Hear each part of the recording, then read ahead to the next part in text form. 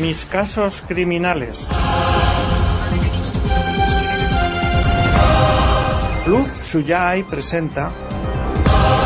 Conversaciones con Juan Ignacio Blanco.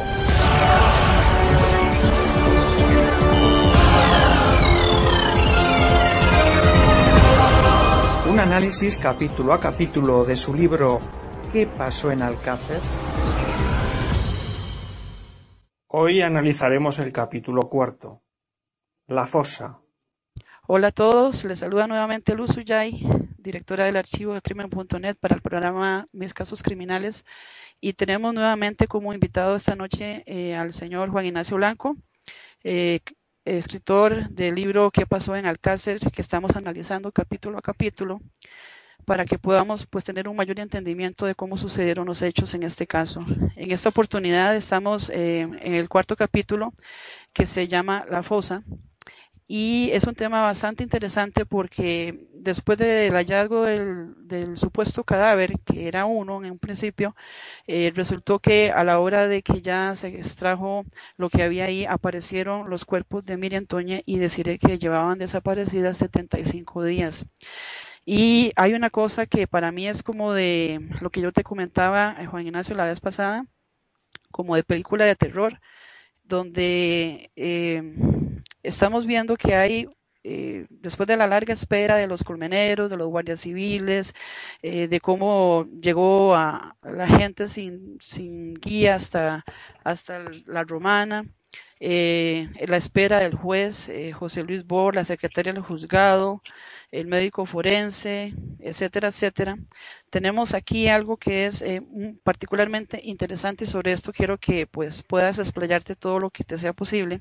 para que puedas aclararnos qué lograron ustedes indagar, porque tengo aquí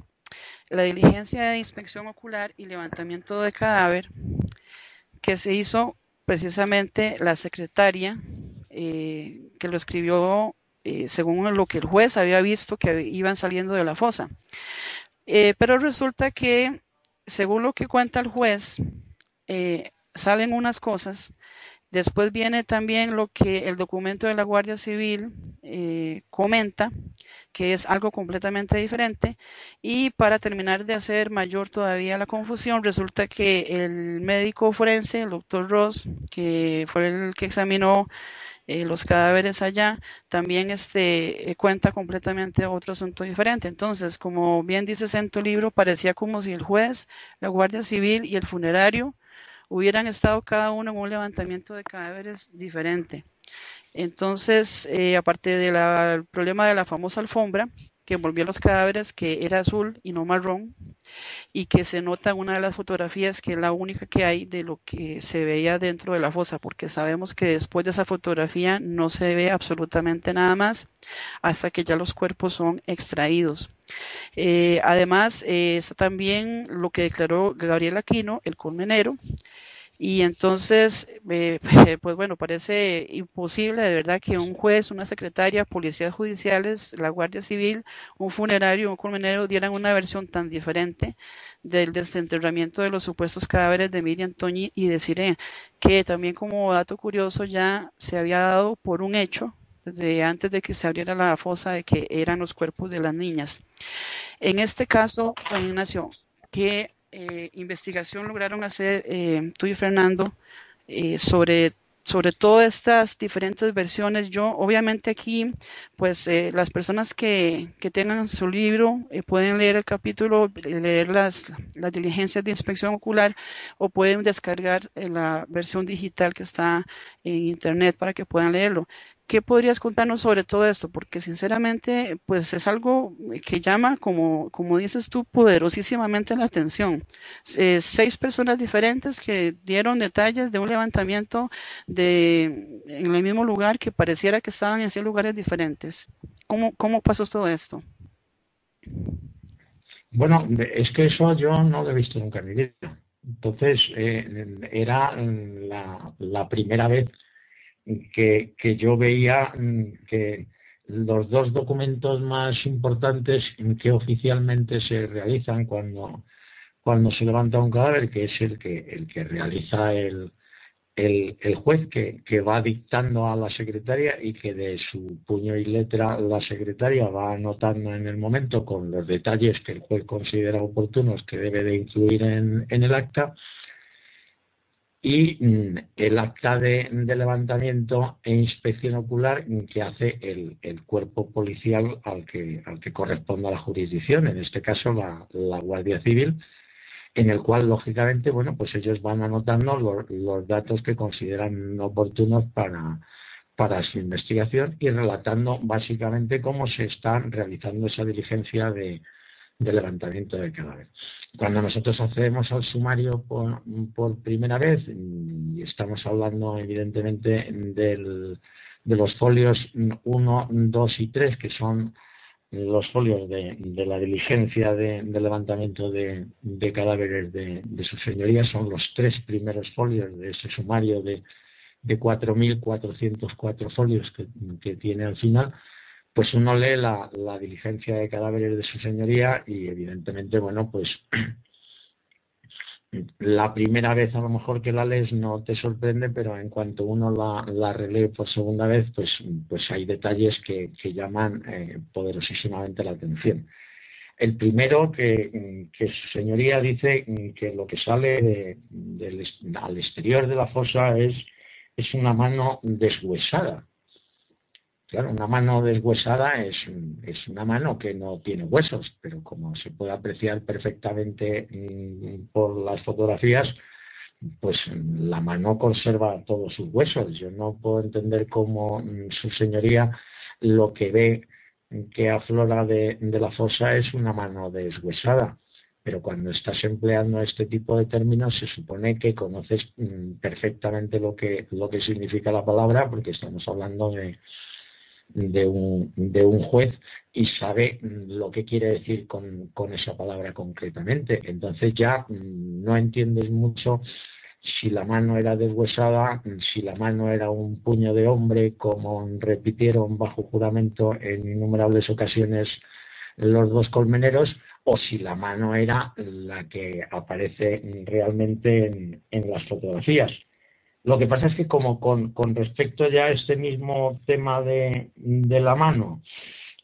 luego su señoría pues modifica su opinión y, dice textualmente que que en, dicha mano se observa un reloj que está parado y marca las 14.30 horas y luego dice algunos dedos tienen restos de carne y en otros mm, solo algunos fragmentos óseos. Y dices, bueno, ¿qué quiere decir esto? Hay que repetirlo otra vez porque si no uno no se entera. Dice, algunos dedos tienen resto de carne y en otros están solo algunos fragmentos óseos. Entonces, esa primera mano que su señoría ha dicho que estaba deshuesada, ahora se convierte en una mano en la que algunos dedos tienen restos de carne, algunos, otros no, y en otros están solo algunos fragmentos óseos. O sea que significa que la mano esa que antes era una mano sin huesos, es decir, como si fuera un guante de piel, que eso es lo que decía que veía su señoría, ahora dice que algunos dedos tienen restos de carne y en otros lo que se ven, se verían, serían los huesos de, las falanges. Es lo que viene a decir textualmente la diligencia de su señoría. Entonces dices, esto evidentemente no es lo que aparece en, en, las fotografías porque,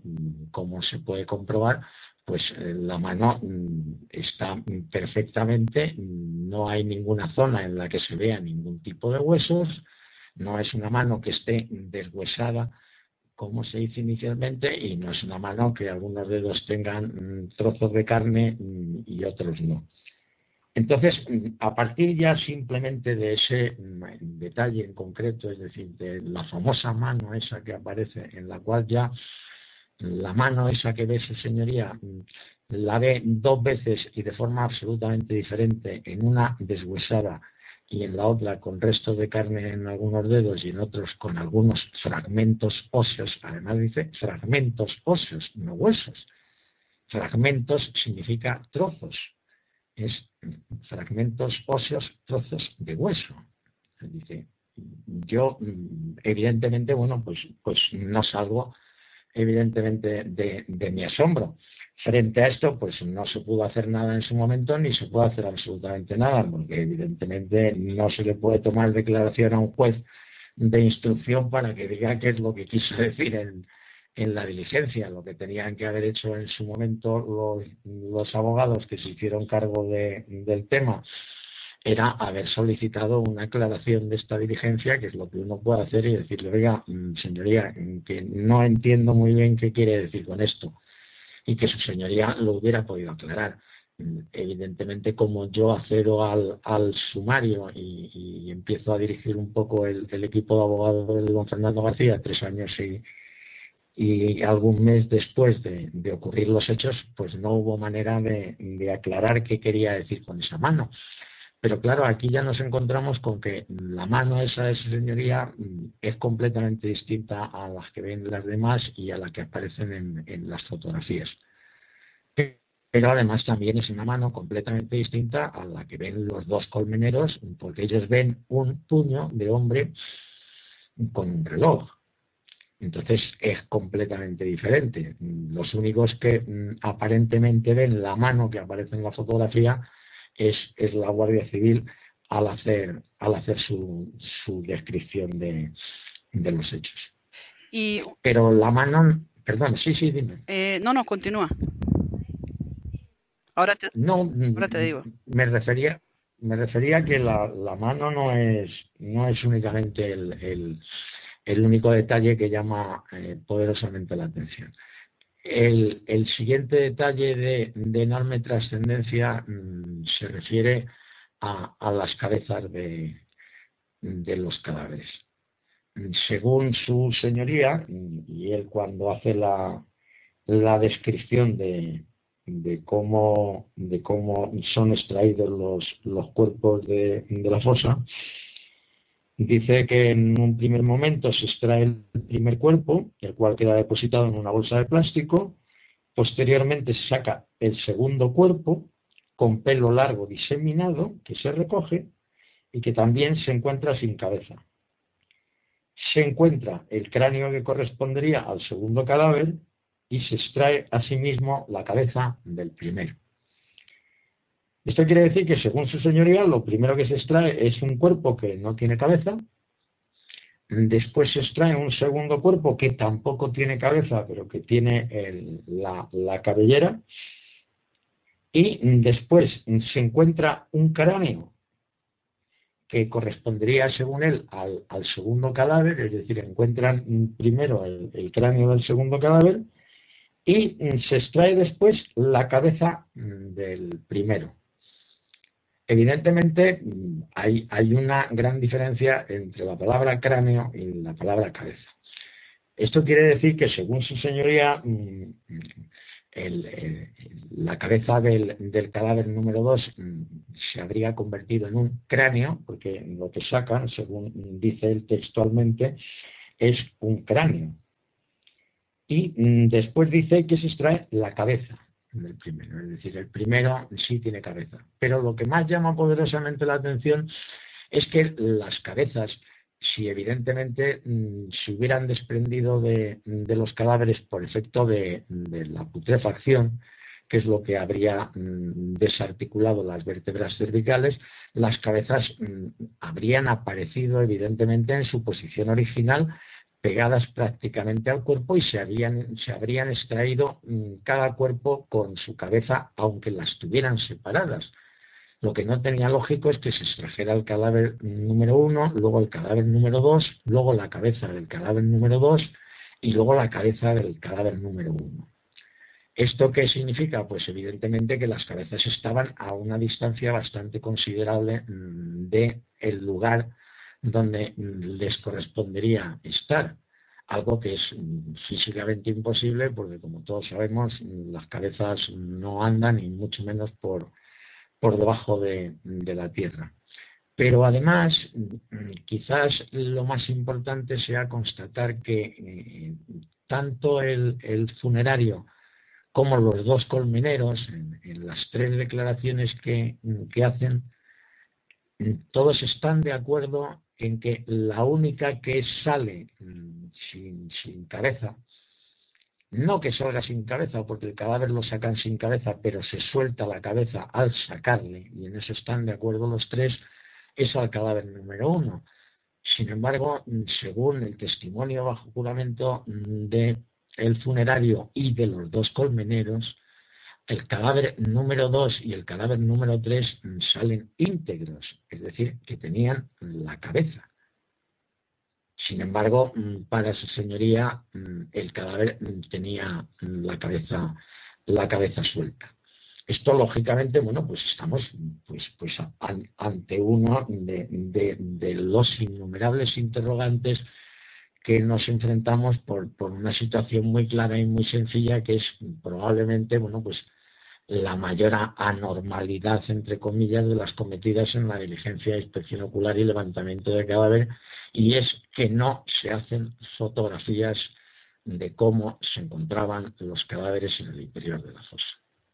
Eso evidentemente no puede ser nunca de ninguna de las maneras casual. La forma de haber resuelto todos estos problemas de los que estamos hablando ahora mismo era muy sencillo pues es lo lógico que hubiéramos visto cómo estaba el cadáver número uno en la fosa antes de sacarlo, cómo estaba el cadáver número dos en la fosa antes de sacarlo y cómo estaba el cadáver número tres en la fosa antes de sacarlo. Algo que lógicamente se hace en todas las diligencias de levantamiento y de inspección ocular. La excusa que aquí da la persona que tenía que, sacar las, las fotografías pues bueno, pues es absolutamente como, como mínimo irrisoria si no es una falta de, respeto al sentido común de, las personas que le estaban escuchando declararlo bajo juramento en el juicio. Este señor dice textualmente, dice que las fotografías que voy haciendo las realizo sin que nadie me indique nada hasta que llega la comisión judicial una vez que llega la comisión judicial y realizo la fotografía 17, la fotografía 17 es la única fotografía que existe en el sumario de los cadáveres en el interior de la fosa y es donde, como tú has dicho perfectamente, se aprecia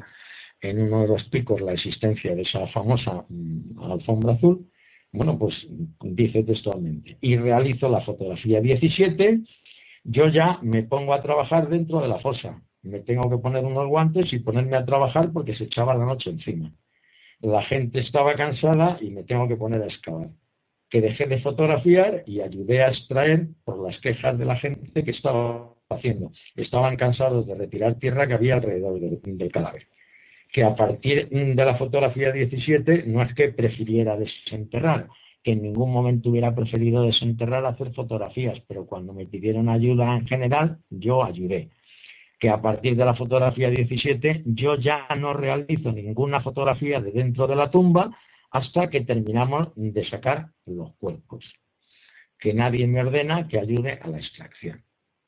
Entonces, claro, un señor que es eh, policía judicial de la Guardia Civil y que tiene una titulación precisamente para poder hacer una diligencia de levantamiento de cadáveres, diga que es que a partir de la primera foto que se hace, cuando se han retirado menos de 10 centímetros de tierra y se han retirado con las manos. Ya había más de ocho personas, como se puede comprobar en algunas de las fotografías, trabajando en el interior de la fosa. Resulta absolutamente ridículo que venga a decir que es que estaban cansados, como si hubieran estado cavando una fosa de, de 6 por 6 metros. Es decir, que no se ha acabado absolutamente nada se ha acabado absolutamente nada porque no se llevaba ni una sola herramienta para acabar. Si se empieza a acabar al final, cuando prácticamente han salido los tres cadáveres, cuando resulta que el forestal aparece con, con su coche, en compañía además de, de, una mujer desconocida, y el guarda forestal, pues en su vehículo sí trae herramientas y se utilizan para extraer la, alfombra al final. Sin embargo, este señor, bajo juramento, delante de un juez y ante una sala abarrotada de público, pues dice, ya, yo me tuve que poner a trabajar y ya no hice ninguna foto más. Y te quedas así con la cara cuadrada y dices, oiga, pero no hubiera sido mucho más sencillo, te sigue cavando, ayuda a los demás, pero cuando va a salir el cadáver dice, un segundito, por favor, coge la cámara, dispara, lo sacan, sigue usted trabajando y, vuelve a sacar de vez en cuando alguna fotografía. Entonces no, entonces no hay una fotografía de lo que hay en el, interior de la fosa. Y el interior de la fosa es evidentemente mm, por llamarlo de alguna manera, el, gran secreto del caso Alcántara. Yo tenía absolutamente claro desde que mm, comencé la investigación, muy pocos días después de comenzar la investigación sobre el tema, que la explicación y la aclaración a todo lo ocurrido mm, tenía que estar en la fosa y en lo que había en, el interior de esa fosa. Yo era algo que tenía absolutamente claro muchos meses antes de, poder acceder al sumario. Evidentemente, cuando accedo al sumario, lo que yo busco es eso, precisamente, y esas fotografías no ya las fotografías de autopsia, yo quería las fotografías del levantamiento de cadáveres para saber qué ocultaba la fosa de, la romana. Y claro, la gran sorpresa te la llevas cuando de pronto dices, hay un montón de fotografías de, de, la mano con los dos huesos del cúbito y el radio, y luego una sola fotografía de, de los tres cuerpos en el interior de la fosa, y la siguiente fotografía ya es la fosa vacía. Sí, eso. Los cuerpos ya metidos cada uno en el sumario. Es, eso, en, su Esto cuanto menos es, es, bastante curioso y además, como decías, este no se justifica de ningún punto de vista. Es eh, muy interesante. Yo eh, quiero pedirle a todos los oyentes que, por favor, los que puedan conseguir el libro, eh, físico lo consigan y lean detenidamente este capítulo y los que no por lo menos eh, lo hagan en la versión digital porque es uno de los capítulos que para poder entenderlo lo mejor posible hay que leerlo de principio a fin y no solamente una vez, varias veces porque es increíble, increíble esa es la palabra, la forma en que describen eh, todas las personas que estuvieron en ese levantamiento, cómo se produjo el mismo y lo que fue saliendo de, la fosa. pareciera, como decíamos al principio, que estuvieron en levantamientos de cuerpos completamente distintos. Inclusive, eh, aquí hay un dato que, yo te quería mencionar y que es todavía uno de los más increíbles, y es que eh, la Guardia Civil eh, los que estaban allí eh, dijeron que habían dos de los cuerpos que a uno le faltaba la mano izquierda y a otro le, faltaba la mano derecha. Pero resulta que el forense, el médico que estaba ahí en el levantamiento, dijo que eh, las manos de los cuerpos estaban apelmazadas y pegadas a los cuerpos. Entonces, eh, yo me pongo a pensar, bueno, si yo no soy el médico forense que estoy revisando un levantamiento de, cadáveres y digo una cosa así y los policías que están por ahí están diciendo otra, aquí hay algo definitivamente que es muy extraño y que no puede ser. ¿Por qué razón? Porque, como decías bien, había algo en ese interior en, la fosa que no se quería que se supiera, porque es que no, o sea, desde ningún punto de vista criminalístico ni de ningún punto de vista de ninguna especie se puede justificar que el, la, única persona que tomaba fotografías dejara de tomarlas para ponerse a excavar y que no se pudieran poner de acuerdo en eso. Entonces, eh, las diferentes versiones que se dieron referente a lo que iba saliendo de la fosa, porque hay una única fotografía, vuelvo a repetir, eh, de la, del, levantamiento de los cuerpos. Estas em, diferentes versiones que dan todas las personas que se encuentran ahí, ¿considerarías que mm, fue producto de la casualidad o hubo de antemano algo preparado para tratar de ocultar algo? Porque aparentemente pareciera, da la mala impresión de que dentro de esa fosa había algo que no convenía que se supiera.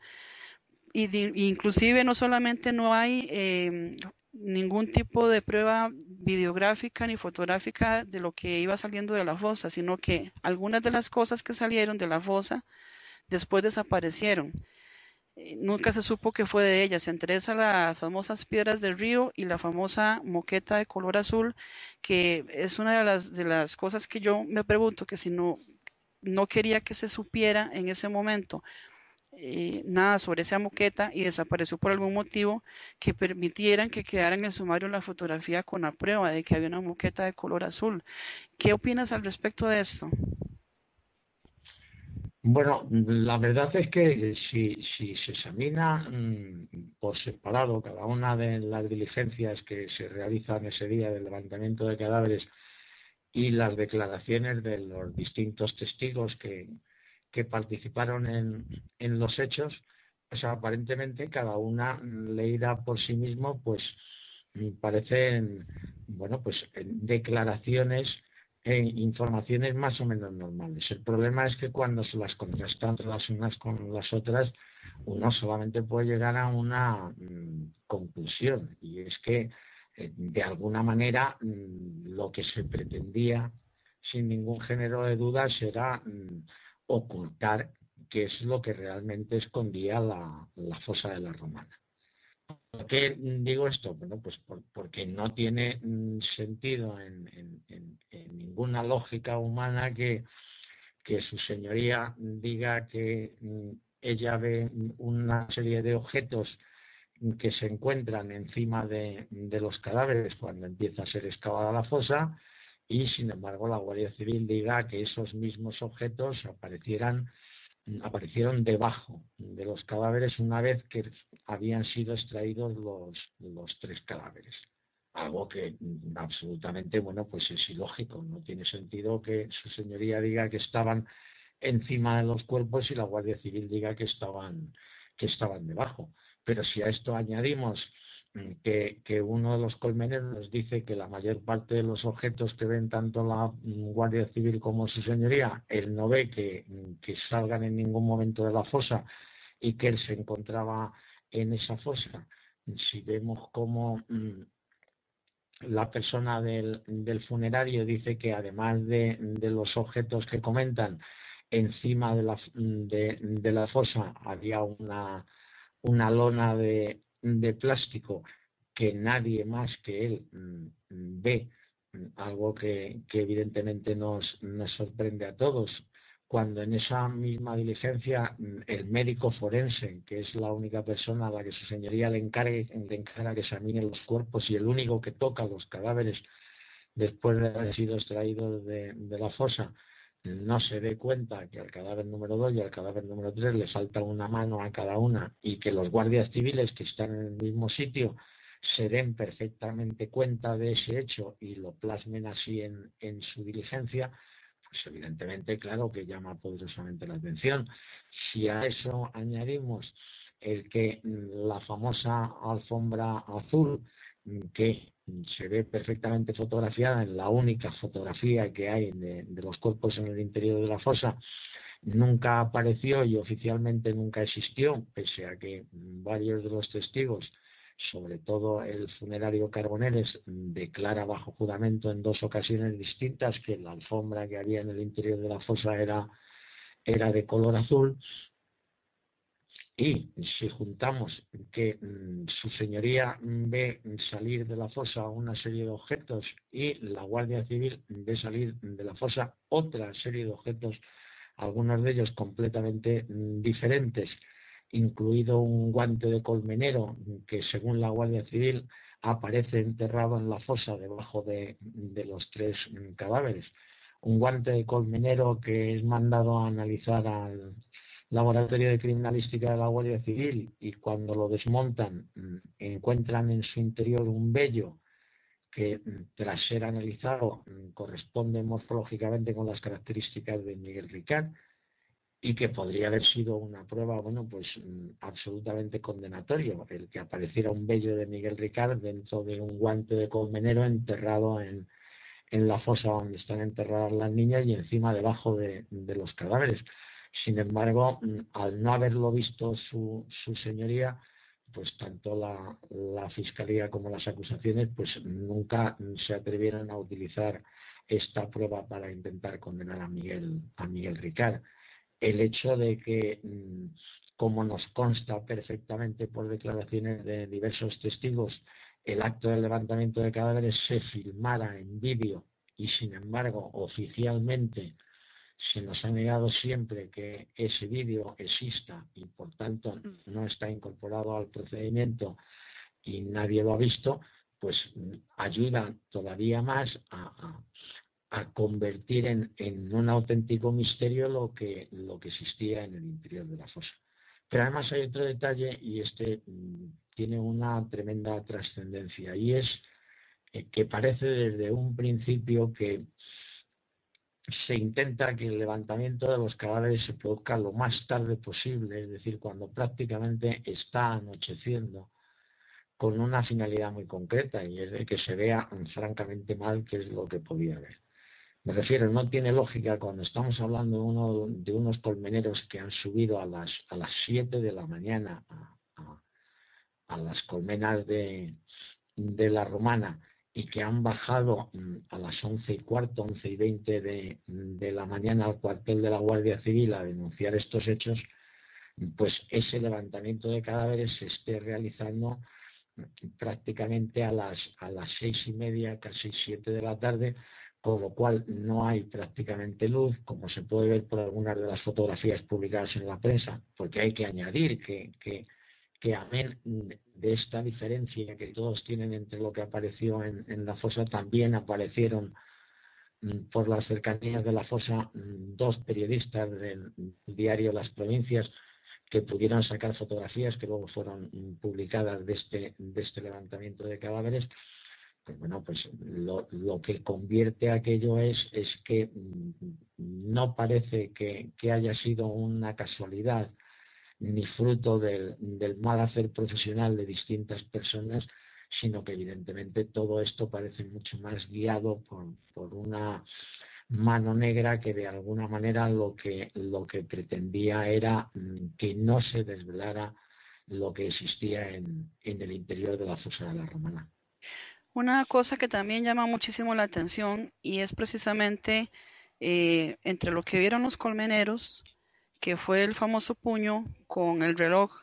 que ellos decían que era un puño de hombre, y lo que después eh, se puede apreciar en las fotografías de tu libro, porque lo que se aprecia ahí es una mano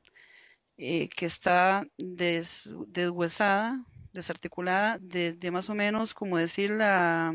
la mitad del antebrazo hasta el codo, aparecen nada más los huesos y el se ve el reloj y después se ve una mano que no se ve ni descarnada ni se ve deshuesada, se ve como, como llena de barro. Que los colmeneros dijeron que eso no era lo que ellos habían visto cuando ellos bajaron eh, a hacer la denuncia. Y hay algo que es muy curioso y es que se le pregunta también en, en, en el juicio al doctor Ross que si el codo estaba por arriba y la mano estaba por debajo, entonces tendría que verse el codo, pero no la mano. O sea que nunca se pudo explicar, ningún médico, ni los que estuvieron allí, ni el doctor Ross, cómo fue que se dio que esa mano quedara en esa posición. Porque lo que afirma el doctor Ross es que la mano estaba en semiflexión y que el cadáver estaba en posición genupectoral. Entonces, y por otro lado, también algo muy curioso es que las manos aparecían atadas. Es decir, aunque esta mano estaba desarticulada desde el codo, aparecía atada por una especie de vendas a la otra mano, que es el único cuerpo que tenía las dos manos. Y no se pudo tampoco explicar qué causó la separación de esos huesos o el descarnamiento del antebrazo de ese cuerpo,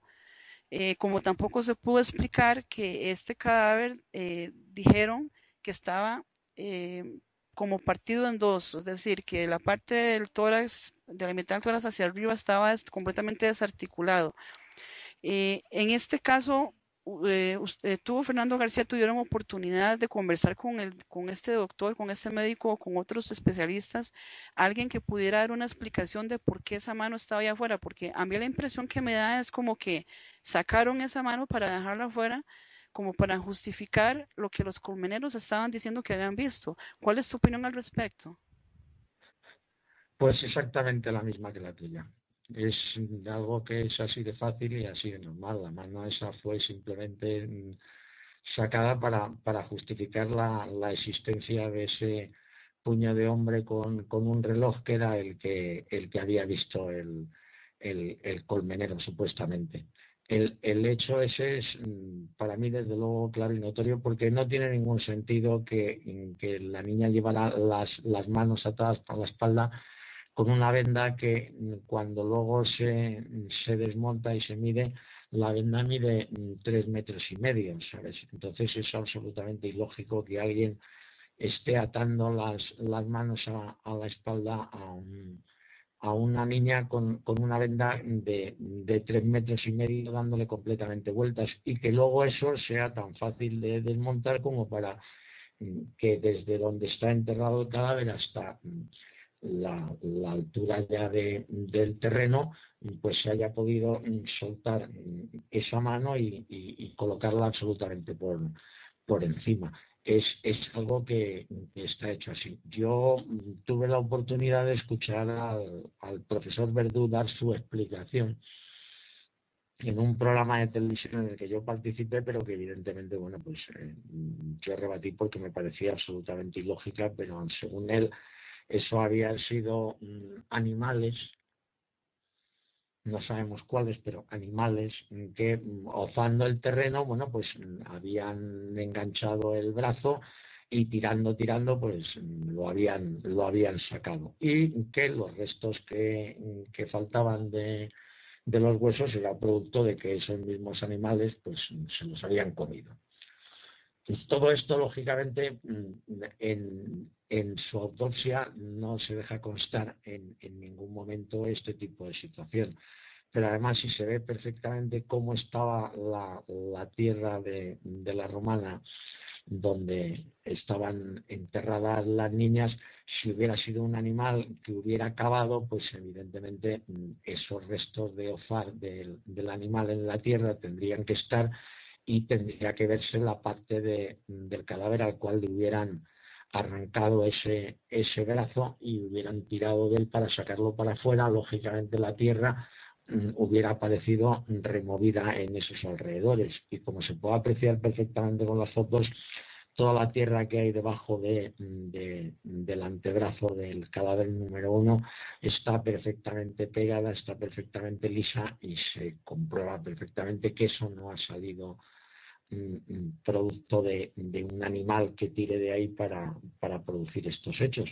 Además, si esto hubiera sido así, ellos tendrían que haber dejado constancia en la autopsia de la intervención de animales en, en, haber mm, devorado la, parte de carne que falta en, la parte proximal del, del, antebrazo del cadáver número uno y que sin embargo ellos no dejan en ningún momento constancia de, de este hecho. Pero mucho más extraño y absolutamente incomprensible es que este cadáver número uno hubieran tenido que atarle las manos a la espalda de ninguna de las maneras. Es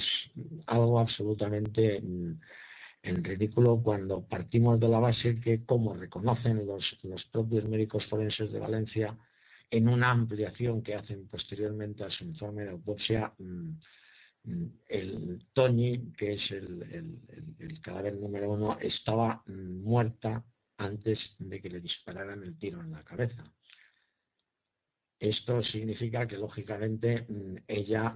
por su propio pie, no pudo llegar en ningún momento hasta, hasta la fosa de, de la romana, tuvo que ser eh, trasladada de una forma o de otra. Y mm, como es lógico y normal, a una persona mm, a la que la tienes que trasladar y que mm, físicamente no representa ninguna amenaza, es absolutamente ridículo el, el vendarle las, las muñecas con una venda de, de tres metros y medio, cosa absolutamente ilógica, como estamos diciendo, dado el estado en el que, según los médicos forenses de Valencia,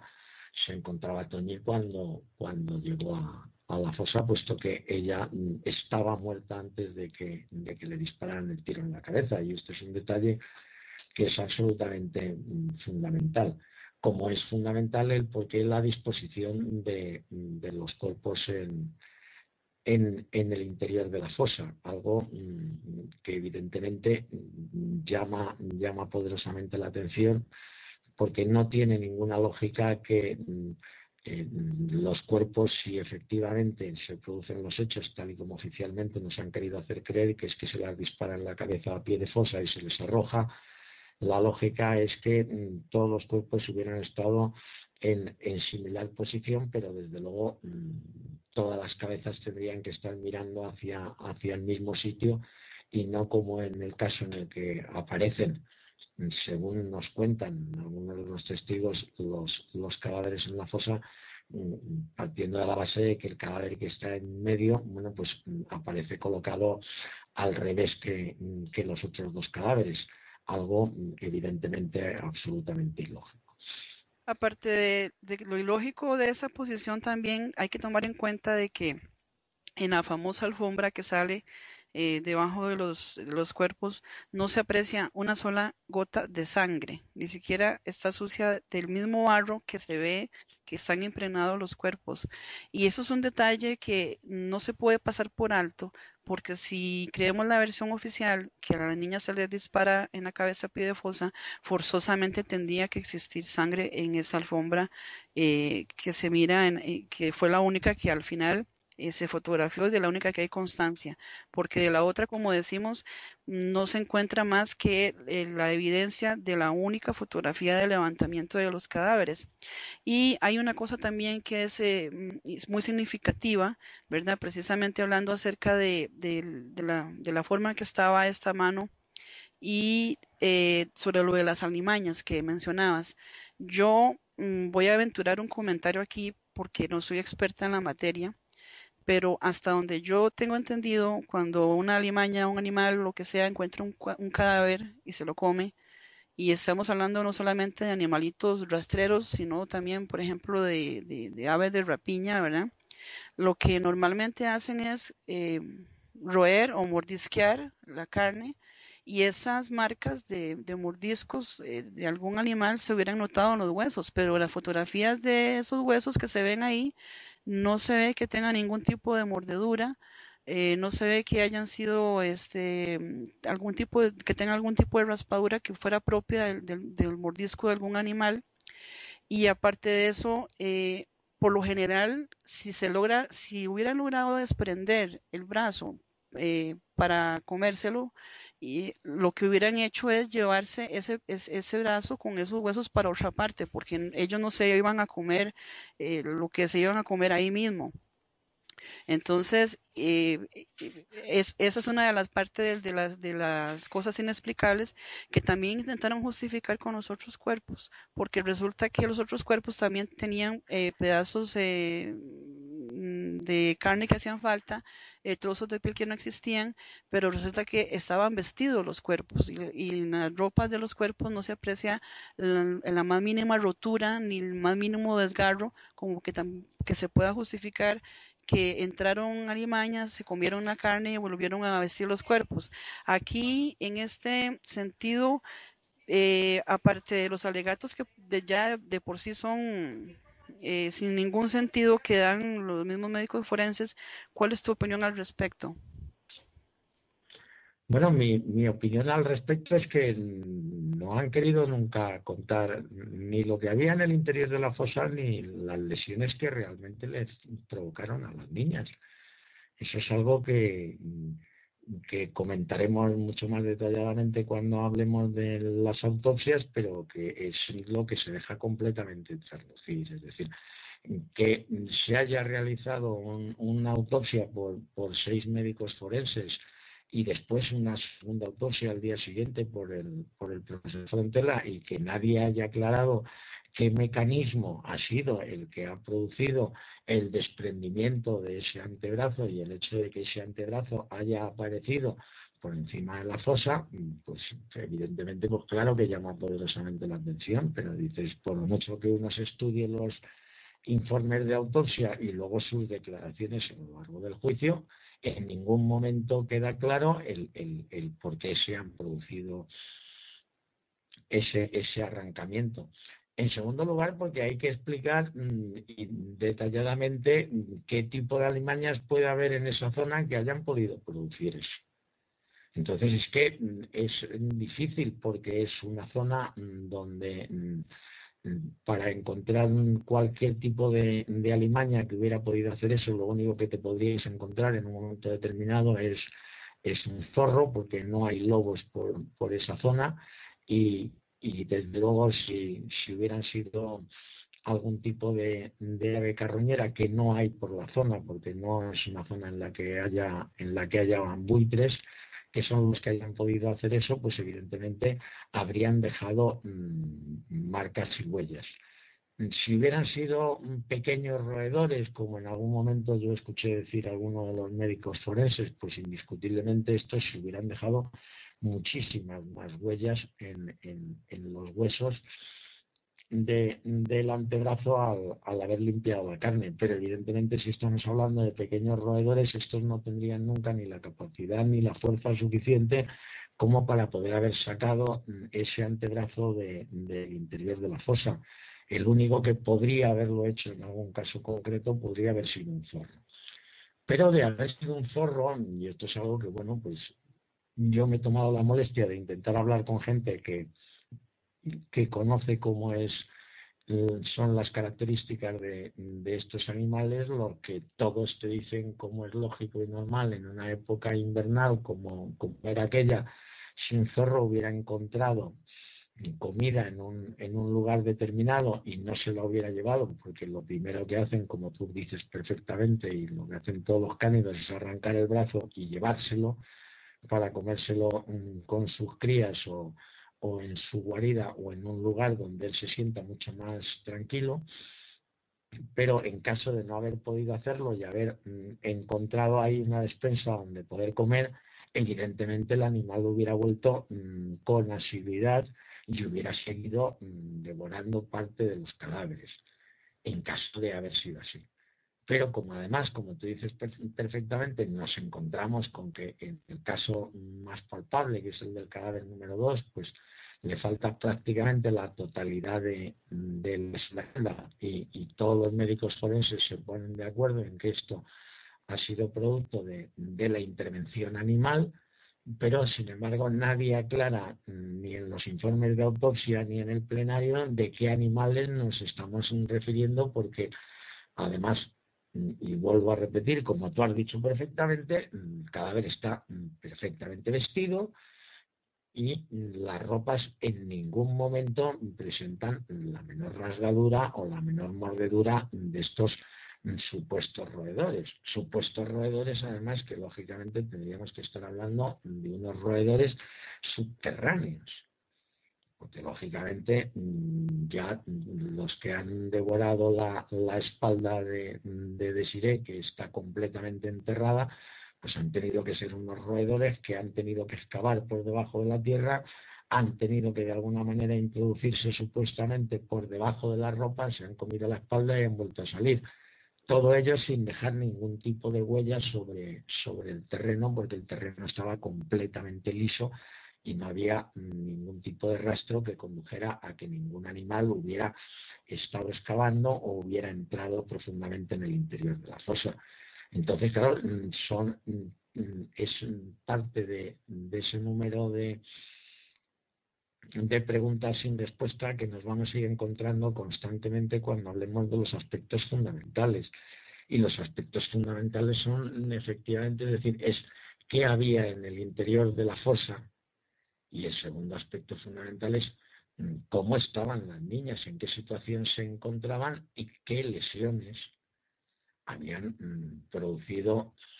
sus torturadores sobre, sobre sus cuerpos. Desgraciadamente nos encontramos con que no sabemos qué es lo que ha aparecido en el interior de la fosa, porque antes estábamos hablando de esos objetos que aparecen en, en, en, el interior y que según el juez están arriba y según la Guardia Civil debajo, pero que tampoco los hemos podido ver nunca porque jamás se fotografiaron y no entendemos qué hacen enterrados en el interior de la fosa. Uno puede comprender que la camiseta con las dos piedras que supuestamente se ha empleado para golpear a las niñas, pues pueda enterrarse en el interior de la fosa, pero que se entierre un tronco en forma triangular y, otro tronco en, en, en, forma rectangular y nadie sepamos qué son esos troncos que se han enterrado ni qué motivos han tenido los asesinos para enterrar esos, esos troncos en ese lugar, mm, que aparezca una, una chaqueta mm, de, de color verde que tampoco entendemos por qué esa chaqueta de color verde aparece enterrada en el interior de la fosa, porque es una chaqueta que incomprensiblemente, como nadie sabe luego lo que ocurrió con ella, tampoco se mandó a analizar ninguno de los laboratorios, ni el de criminalística de la Guardia Civil ni el del Nacional de Toxicología, la analizaron porque no la vieron pues tampoco sabemos qué misión tenía el, enterrar esa chaqueta cuando luego por los alrededores, como hemos comentado en, anteriores programas, aparecieron diversas prendas de ropa esparcidas sin, sin ningún tipo de problemas. Pero claro, todo esto es fruto de lo que comentábamos en un principio. No hay fotografías de lo que había en el interior de la fosa, y las versiones que dan los distintos testigos son todas contradictorias. Luego, desgraciadamente, no podemos saber de ninguna de las maneras qué es lo que había en el interior de la fosa. Si a eso le sumamos, como he comentado anteriormente, el hecho de que el levantamiento se está haciendo prácticamente cuando el sol se está se está poniendo, pues evidentemente le estamos añadiendo más factores en contra para poderse ver qué es lo que realmente había en, en el interior de la fosa. Si luego el forense que, examina los cuerpos hace unas declaraciones, como tú comentabas, diciendo que el cadáver número uno aparece mm, con el torso fragmentado, y dice, bueno, pero pues, ¿qué significa que tiene el torso fragmentado? Pues que tiene el pecho partido por la mitad. Y dice, bueno, pero es que eso luego no se corresponde con lo que dicen los, los informes de autopsia. Entonces, estamos hablando de la gran deformación en la cabeza con, la que aparece el cadáver número 3, algo que, constata su señoría, algo que constata el, doctor Ross,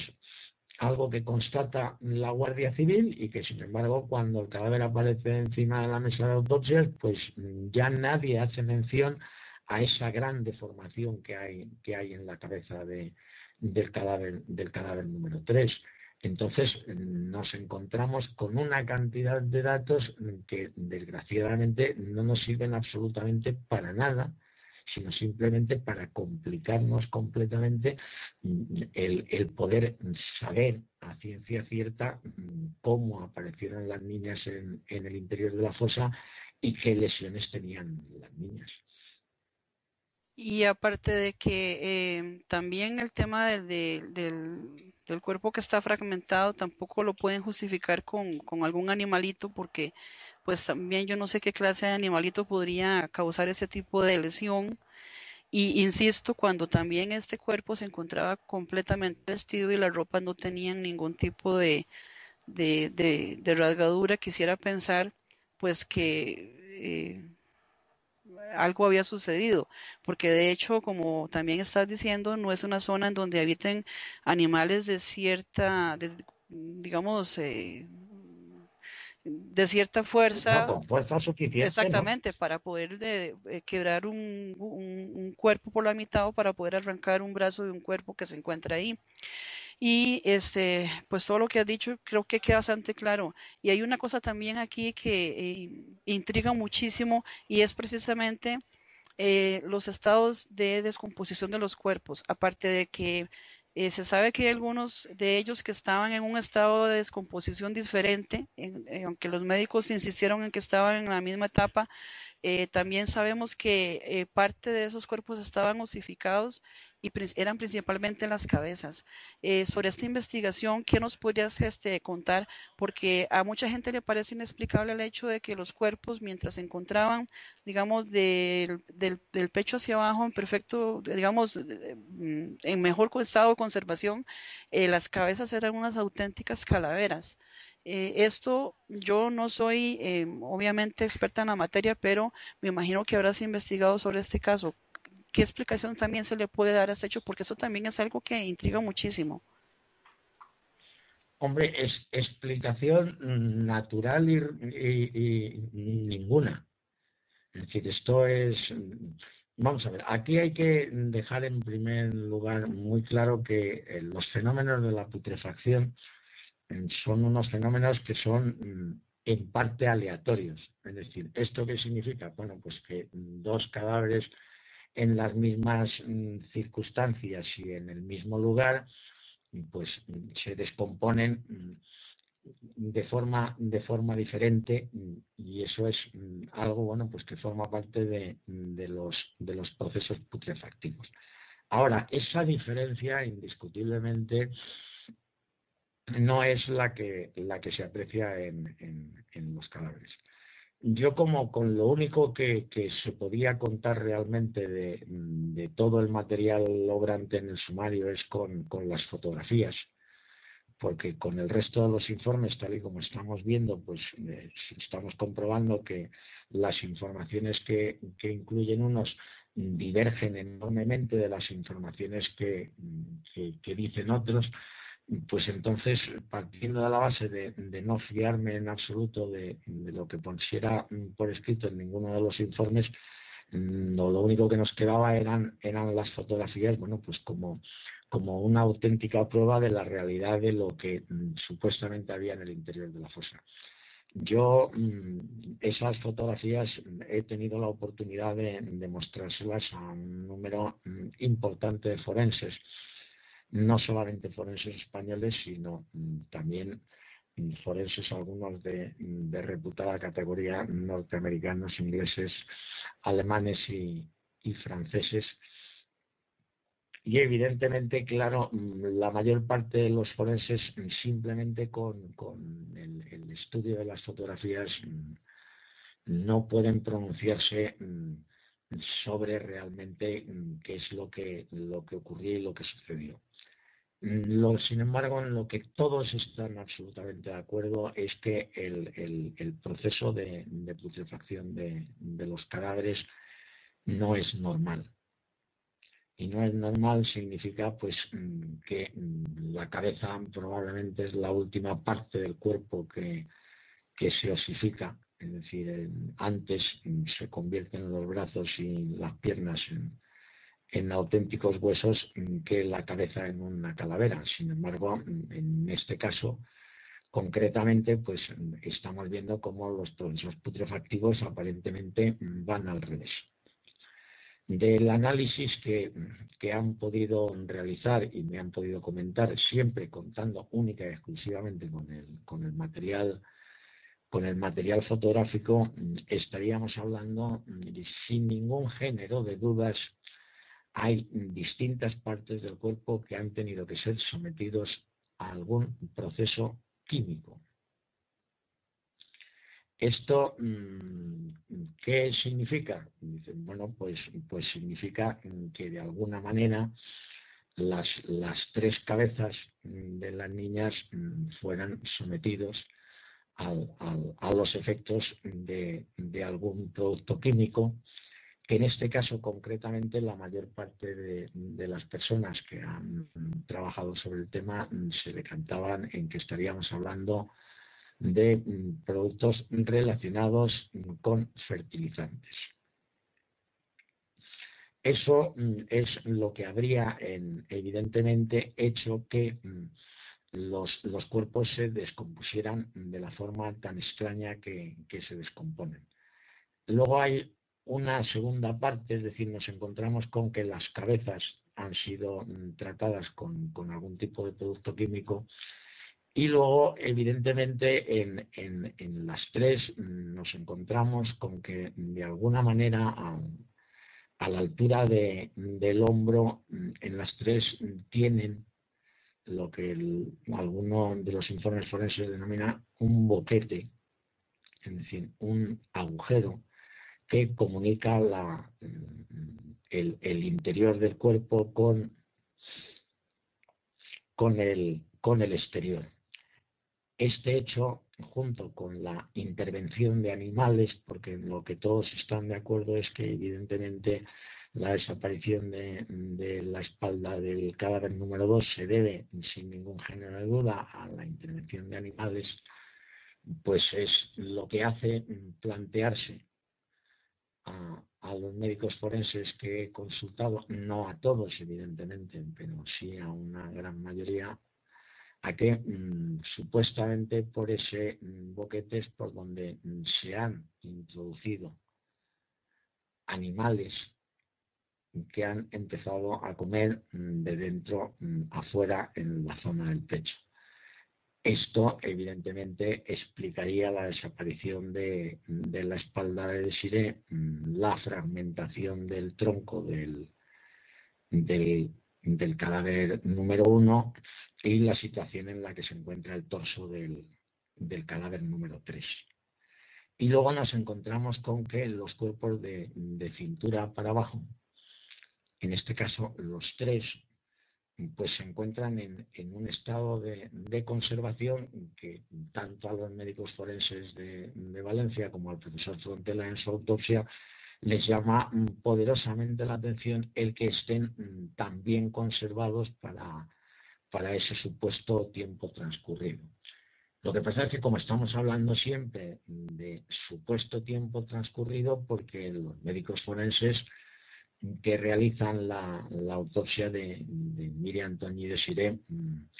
me consta que ninguno de ellos había realizado nunca en su vida una autopsia a un cadáver que llevara enterrado más de dos meses. Esto por una situación muy sencilla, porque normalmente los cadáveres enterrados no se descubren nunca, porque no aparece una mano con un reloj encima de, la tumba. Entonces es, un fenómeno muy raro eh, que se encuentren cadáveres enterrados con, ese tiempo de duración. ¿Esto qué significa? Pues mm, que no hay estudios mm, previos, igual que sí hay estudios y en Estados Unidos se pusieron de moda hace ya más de 15 años las, las llamadas granjas de, cadáveres, donde se exponían cadáveres a, diferentes temperaturas, en diferentes zonas de vegetación, pues para ir comprobando cómo se desarrollaban esos efectos de, de la putrefacción, pero siempre estamos hablando de cuerpos al, aire libre. Al estar enterrados, pues evidentemente hay muy poca documentación en el mundo para poder definir con claridad si esos cadáveres llevan enterrados 35, 45, 55 o 65 días. Aquí las fechas se dan por simple y llana aproximación y dicen desaparecieron el mismo día el culpable ha dicho que las mataron el mismo día, pues llevaban 75 días. Eso, eso no hay ningún médico forense, ningún médico forense en España que pueda atreverse a hacer una afirmación semejante. Porque no hay datos reales con los que contar. Yo mm, tengo la suerte de haber dispuesto y tener todos los tratados de medicina legal y forense editados en España desde 1950 hasta ahora. Los tengo todos. Y me los he leído todos, sobre todo en relación a, a los fenómenos de, la putrefacción. Indiscutiblemente no hay documentación real de, de, en qué situación se encuentra un cadáver enterrado después de más de dos meses. Pero además a todo esto habría que añadir que evidentemente los efectos de la putrefacción son completamente diferentes en función de la naturaleza del, terreno en el, en el que se encuentren los cadáveres. Si los cadáveres se encuentran en un terreno de, naturaleza calcárea, como es el terreno de, la zona de la romana, los procesos de putrefacción son de otra manera. Sin embargo, si se encuentran en un terreno mm, de zona arcillosa, pues es de otra manera distinta. Sin embargo, aquí nos encontramos con que los cadáveres están completamente embarrados de una tierra que es completamente arcillosa y sin embargo cuando acudimos a la romana o cuando se ven las fotografías del interior de la fosa vacía, se ve perfectamente que estamos hablando de otro tipo de tierra que no se corresponde en ningún caso con la tierra de la hermana. Por eso, mm, evidentemente, no se toma ni una sola muestra mm, de tierra de las existentes en las ropas de las niñas y como se puede apreciar en las fotografías, las ropas completamente eh, forradas de, un barro arcilloso que estaba completamente seco y mm, al no tomarse ninguna muestra ni compararse con la tierra de la romana, no se podría no se ha podido descalificar mm, el que mm, hayan estado siempre enterradas en el mismo sitio, pero precisamente la, tierra arcillosa que aparece pegada en las ropas de, las tres niñas es la que demuestra sin ningún género de duda que la romana no es el único sitio donde, donde las tres niñas han estado enterradas. No, eso es algo que, bueno, para el buen observador queda completamente claro y patente desde el primer momento. Eh, para sobre todo las personas que tienen acceso a las fotografías, eso es sumamente eh, claro. Y aparte de eso, hay muchas irregularidades en lo que fue la fosa. Aparte de esto, esas características de, de, la, los cuerpos eh, y de todo lo que hemos conversado. hay una cosa, bueno, hay tres cosas que me llaman la atención, sobre lo cual quiero que también nos comentes un poco, y es primero que dice que la, tres de las personas que componían el grupo de especialistas de Madrid de la UCO eh, llegaron sobre las siete y media de la tarde a la romana porque inconcebiblemente dice que no se les avisó de la aparición de los cuerpos, siendo ellos las personas que estaban designadas para buscar a las niñas, fueron los últimos en enterarse, porque inclusive, como dice tu libro y se ha leído otra información, dice que hasta periodistas se enteraron antes que ellos. Específicamente se menciona aquí un reportero del diario Las Provincias que inclusive había accedido al lugar y estuvo fotografiando hasta que fue sorprendido. Entonces se le impidió a cualquier curioso eh, ya pues poder tomar eh, más fotografías. Pero también este, una de las cosas de las más increíbles es que cuando hubieron muchos atrasos eh, desde el primer momento. Los colmeneros bajaron a hacer la denuncia y tardaron como dos horas o tres horas en enviar un coche para poder subir hasta allá. Eh, luego tardaron no sé cuántas horas más en esperar que llegara el juez con la secretaria para proceder al levantamiento del cuerpo. Entre tanto, eh, vino la parte esta que se pusieron a buscar cosas y las encontraron y mandaron al colmenero con unos guantes y todavía cuando ya se sacaron los cuerpos, eh, y estaban ya en bolsas plásticas. También sucedió un atraso que dice que duró como tres horas eh, para poder transportarlos al Instituto Anatómico Forense de Valencia, porque aparentemente no se podían eh, llevar como estaban en Road porque tuvieron que sujetar, sujetar las cajas con, cuerdas porque no cabían. Entonces es difícil también de entender que fueran necesarias, como dice aquí, casi tres horas para cambiar los ataúdes de coche. Entonces, ¿esto cómo se puede entender? ¿Como una descoordinación policial y judicial? ¿O, o que los tres coches que fueron al cuartel de John eh, tuvieron órdenes de permanecer allí determinado tiempo? O sea, esto es muy importante porque lo más irónico de todo es que ah, cuando ya se habían llevado los cuerpos, ya habían bajado todo y ya habían supuestamente recogido todo, entonces dice que en la fosa quedó un retén de guardias civiles donde ya no estaban los cuerpos, acordonando la zona y que pasaron toda la noche vigilando para que nadie accediera a la que había sido la tumba de las tres niñas. O sea que hasta el momento en que ya se había retirado todo supuestamente la evidencia y los cadáveres, es que hicieron ese acordonamiento. Este tipo de atrasos que eh, estuvieron sucediendo,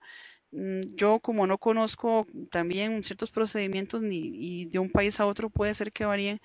se deben a algo que es normal o es algo anormal, porque a mí me parece que entre, entre hubieron muchas horas y, inclusive se inició el desentierro de los cuerpos a una hora que ya estaba casi oscureciendo. Sobre esto, a mí me parece que es algo muy irregular. ¿Qué, qué piensas tú, Juan Ignacio, de esto? Bueno, yo tengo absolutamente claro lo que te comentaba en un principio. Parece todo hecho directamente a propósito con una única finalidad, que es mm, que no sepamos qué había en el interior de la fosa ni cómo aparecieron realmente Miriam, Antonio A este respecto hay un simplemente por, por hacer uno de los detalles, cuando el otro día hablábamos del tema de los colmeneros, eh, el, que uno había dicho que él subió con, con los guardias civiles él solo y, y que su consuelo había estado abajo esperando y que luego mm, tuvieron una diligencia de careo en el propio juzgado y al final parece que es que se, se decantaron por la versión de Aquino de que habían subido los, los dos. En el, en el documento oficial de la Guardia Civil de, de la diligencia de, de inspección ocular, ellos dejan completamente claro que no suben con los colmeneros, sino que suben con uno de los colmeneros contrariamente a lo que se ha querido contar, porque eso es lo que dicen ellos textualmente. Yo leo la diligencia y dice, una vez entrevistados por el oficial al mando de la compañía de la Guardia Civil a la que pertenece el puesto de John Bay, son informados de que en un monte han aparecido restos humanos, circunstancia que motiva el desplazamiento al lugar, donde son guiados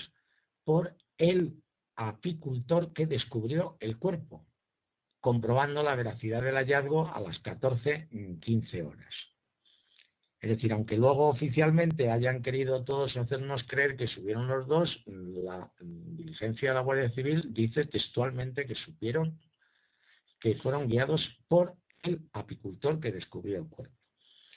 Pero además, uno de los detalles, y ahora contestaré mm, a tu pregunta, es de los más sorprendentes, es la facilidad que tienen mm, un gran número de personas en llegar hasta mm, la fosa de la Romana sin ser guiados por nadie. Es decir, yo puedo comprender perfectamente que los tres miembros de la Guardia Civil mm, que suben por primera vez con uno o con los dos colmeneros, pues hayan podido llegar hasta la fosa porque los colmeneros les van guiando por dónde tienen que ir. Pero cómo llegó el juez, la secretaria y el médico forense, mm, pues eso es algo que mm, nadie puede saber. Porque mm, yo que he subido innumerables veces a la romana, me he perdido más de una vez. Es decir, sin saber y sin que te hayan trazado un mapa perfectamente de cómo se sube, la lógica es que te pierdas porque no tiene carteles indicatorios y cada 500 o cada 800 metros hay bifurcaciones. Y no sabes si tienes que coger la de la izquierda o la de la derecha. Como te equivoques en una sola de las bifurcaciones,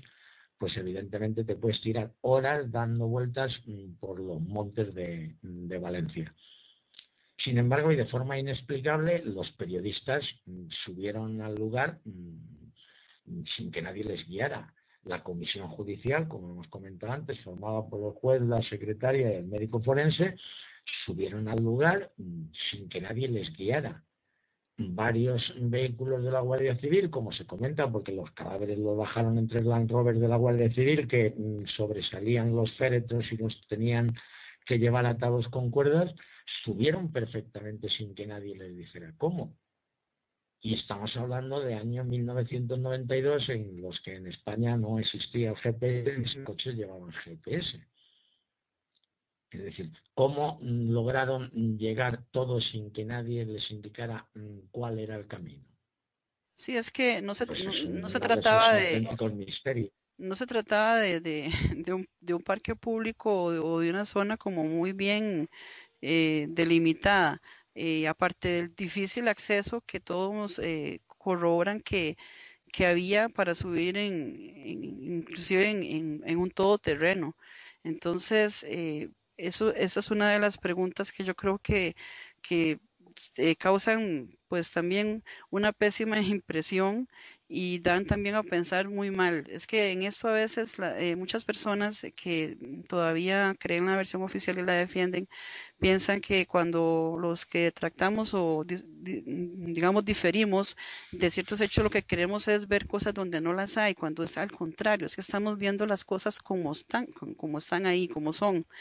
Eh, porque, por ejemplo, digamos acá en la página 125 de tu libro, está la famosa fotografía que, la, que es la única que se tomó del levantamiento, donde se aprecia perfectamente una esquina de una eh, alfombra o moqueta de, de color azul. Con un, eh, inclusive mm, con un detalle ahí como, no sé, un dibujo o alguna cosa, pero en las siguientes fotografías, cuando ya se extraen los cadáveres, lo que podemos ver es una alfombra eh, que es como de un color beige por un lado y verde por el otro, que no tiene una sola gota de sangre y que no tiene una sola gota de barro. Eso por un lado. Y eh, cosas tan extrañas como por ejemplo esta de la página 128, que es, em, es el, se aprecia, em, dice un reloj y parte de los restos de una de las víctimas. Y aquí hay algo muy, muy llamativo. Eh, no existía la mano, eh, por el tipo de, reloj deduzco que era, eh, aparentemente el, el, de Miriam, el que se ve acá, no había mano, pero sí estaba el reloj. Eh, eso es una, una, cosa, porque lo lógico es que como uno usa el reloj en la muñeca, si se, se corta en la mano, pues se, que se corte el reloj. Pero resulta que hasta, o sea, no apareció, y eso es una cosa que a mí me ha intrigado mucho, no aparecieron un montón de piezas dentales, no aparecieron este, cosas que habían aparecido en una fosa, pero sí aparece un reloj en una mano que está amputada, eso no se perdió. Entonces, eh, cuando uno mira estas cosas se da cuenta de que definitivamente hay algo que es completamente anormal y lo de la, em, lo de la alfombra azul es eh, una prueba que, que, que, no se puede refutar de ninguna forma y el que lo haga es simplemente porque quiere llevar la contraria, porque ahí está muy bien especificado. Y yo, pues, mm, sobre este tema quería preguntarte, eh, de esa moqueta azul, ni siquiera, o sea, no se supo nunca nada y además, aparte de eso, mm, tampoco se supo nunca nada de, por ejemplo, la otra moqueta que sí apareció, porque eh, hay un rumor por ahí que corre que dice que en el patio de la comisaría o la Guardia Civil también lavaron esa alfombra a manguera. Eh, estas son irregularidades que que cualquier persona las pueda analizar porque yo no me explico cómo hay un reloj en una, una muñeca que no tiene muñeca y no tiene mano. Sobre este tipo de información, ¿a qué conclusiones, según las investigaciones que tú y Fernando García hicieron, llegaron? Eh, ¿Cómo se explican estas o se podrían explicar estas cosas? Pues la verdad es que mm, explicarlas difícilmente. Es decir, solamente tienen una, una única explicación factible que era el, el intentar dejar el, el, mayor número de, de objetos y, prendas de, de ropa de, de, las niñas en, en, los cadáveres. Esto es algo, bueno, pues que evidentemente tanto a don Fernando García como a mí, pues nos llamó poderosamente la atención y de hecho durante tiempo estuvimos barajando la posibilidad de que de que pudieran no tratarse de, de los cuerpos de, de Miriam Antonio y de Sire. Luego, bueno, pues a, a raíz de, de, distintas pruebas que, que, realizaron algunos médicos forenses con, con, los datos que se les facilitaron, nos llegamos a la, a la conclusión de que efectivamente sí se trataba de, de las tres niñas. Lo que pasa es que lo que ocurre mm, es, es lo que tú planteabas, es decir, hay, hay hechos que son evidentemente mm, ilógicos si los planteamos desde el punto de vista mm, de la versión oficial que nos están contando. Entonces, eh, claro que es evidente que si nos dicen que hay varias piezas dentarias que faltan porque se han caído por efecto de la putrefacción, pues dices, oiga, no es normal porque por efecto de la putrefacción las piezas dentarias no se suelen caer, de hecho cualquiera puede ver todavía cráneos de hace 3, 4 y 5 mil años que se puede ver en cualquier museo de, de antropología o de, o de arqueología y conservan los dientes perfectamente. Pero bueno, vamos a dar por sentado que haya sido por producto de la putrefacción. Dices, oiga, bueno, pues estarán ahí como además las niñas están encima de una, de una alfombra, pues lógicamente si los dientes se les han caído, pues los dientes estarán encima de la alfombra. Eso no, no puede haber ningún tipo de duda. Pero sin embargo no están. O por lo menos no se los encuentra. Y eso que luego se pasan 72 horas mm, cribando toda la tierra de los alrededores de la fosa buscando la posible existencia de, de cualquier tipo de restos. Sin embargo, no aparece ninguna de las piezas de interés. Ahora, si en lugar de creernos la versión oficial de que son Anglés y Ricard los que producen los hechos y que se producen de la forma que quieren contar, estuviéramos hablando de que los hechos se han producido de otra manera, en la cual un grupo de personas sádicas se han entretenido, entre comillas, en, en torturar a las, a las menores y entre las diferentes torturas que se han realizado pues están los arrancamientos de alguna de las piezas dentales, pues entonces evidentemente claro que entonces esto sí adquiriría explicación. Si encima además nos encontramos con que les faltan uñas que según también los médicos forenses se han desprendido por efecto de la putrefacción, dices, oiga, pues estarán en la alfombra que envolvía los cadáveres de las uñas y dices, no, no aparece ninguna de las uñas de las niñas. Y dices, oiga, ¿dónde están esas uñas? Y dices, claro, para su versión oficial, pues dice, oiga, nada, es una laguna que hay ahí. Dices, no, pero si a lo mejor estuviéramos hablando de un grupo de personas que se han entretenido, entre comillas, otra vez, y con todo mi respeto hacia, hacia las menores, en torturar a Miriam Toñi y Desiré arrancándoles las uñas, pues a lo mejor sí empezamos a encontrar algún otro tipo de explicación. Yo, este... Si nos dicen Sí, sí, continúa. Ya, ahorita tengo una pregunta. No, ya era para tener, si nos dicen que las dos manos que faltan, una de, de Desiree y otra de Miriam, bueno, pues se han desprendido por efecto de la putrefacción, pues estamos hablando de lo mismo, por los huesos pues tendrían que aparecer encima de la forma o luego en el interior de la fosa una vez que mm, se criba toda la tierra tan detenidamente como, como hacen. Y sin embargo no aparecen. Entonces dices, oiga, si no aparecen, esto solamente puede tener una explicación muy sencilla. Y es que mm, las niñas han llegado a esa fosa sin la mano. No puede haber otra porque si las niñas han sido enterradas en esa fosa teniendo la mano, pues evidentemente la mano mm, podría haberse desprendido por efecto de la putrefacción o por el motivo que a usted le dé la gana, pero indiscutiblemente los huesos estarían en la fosa y los huesos no están.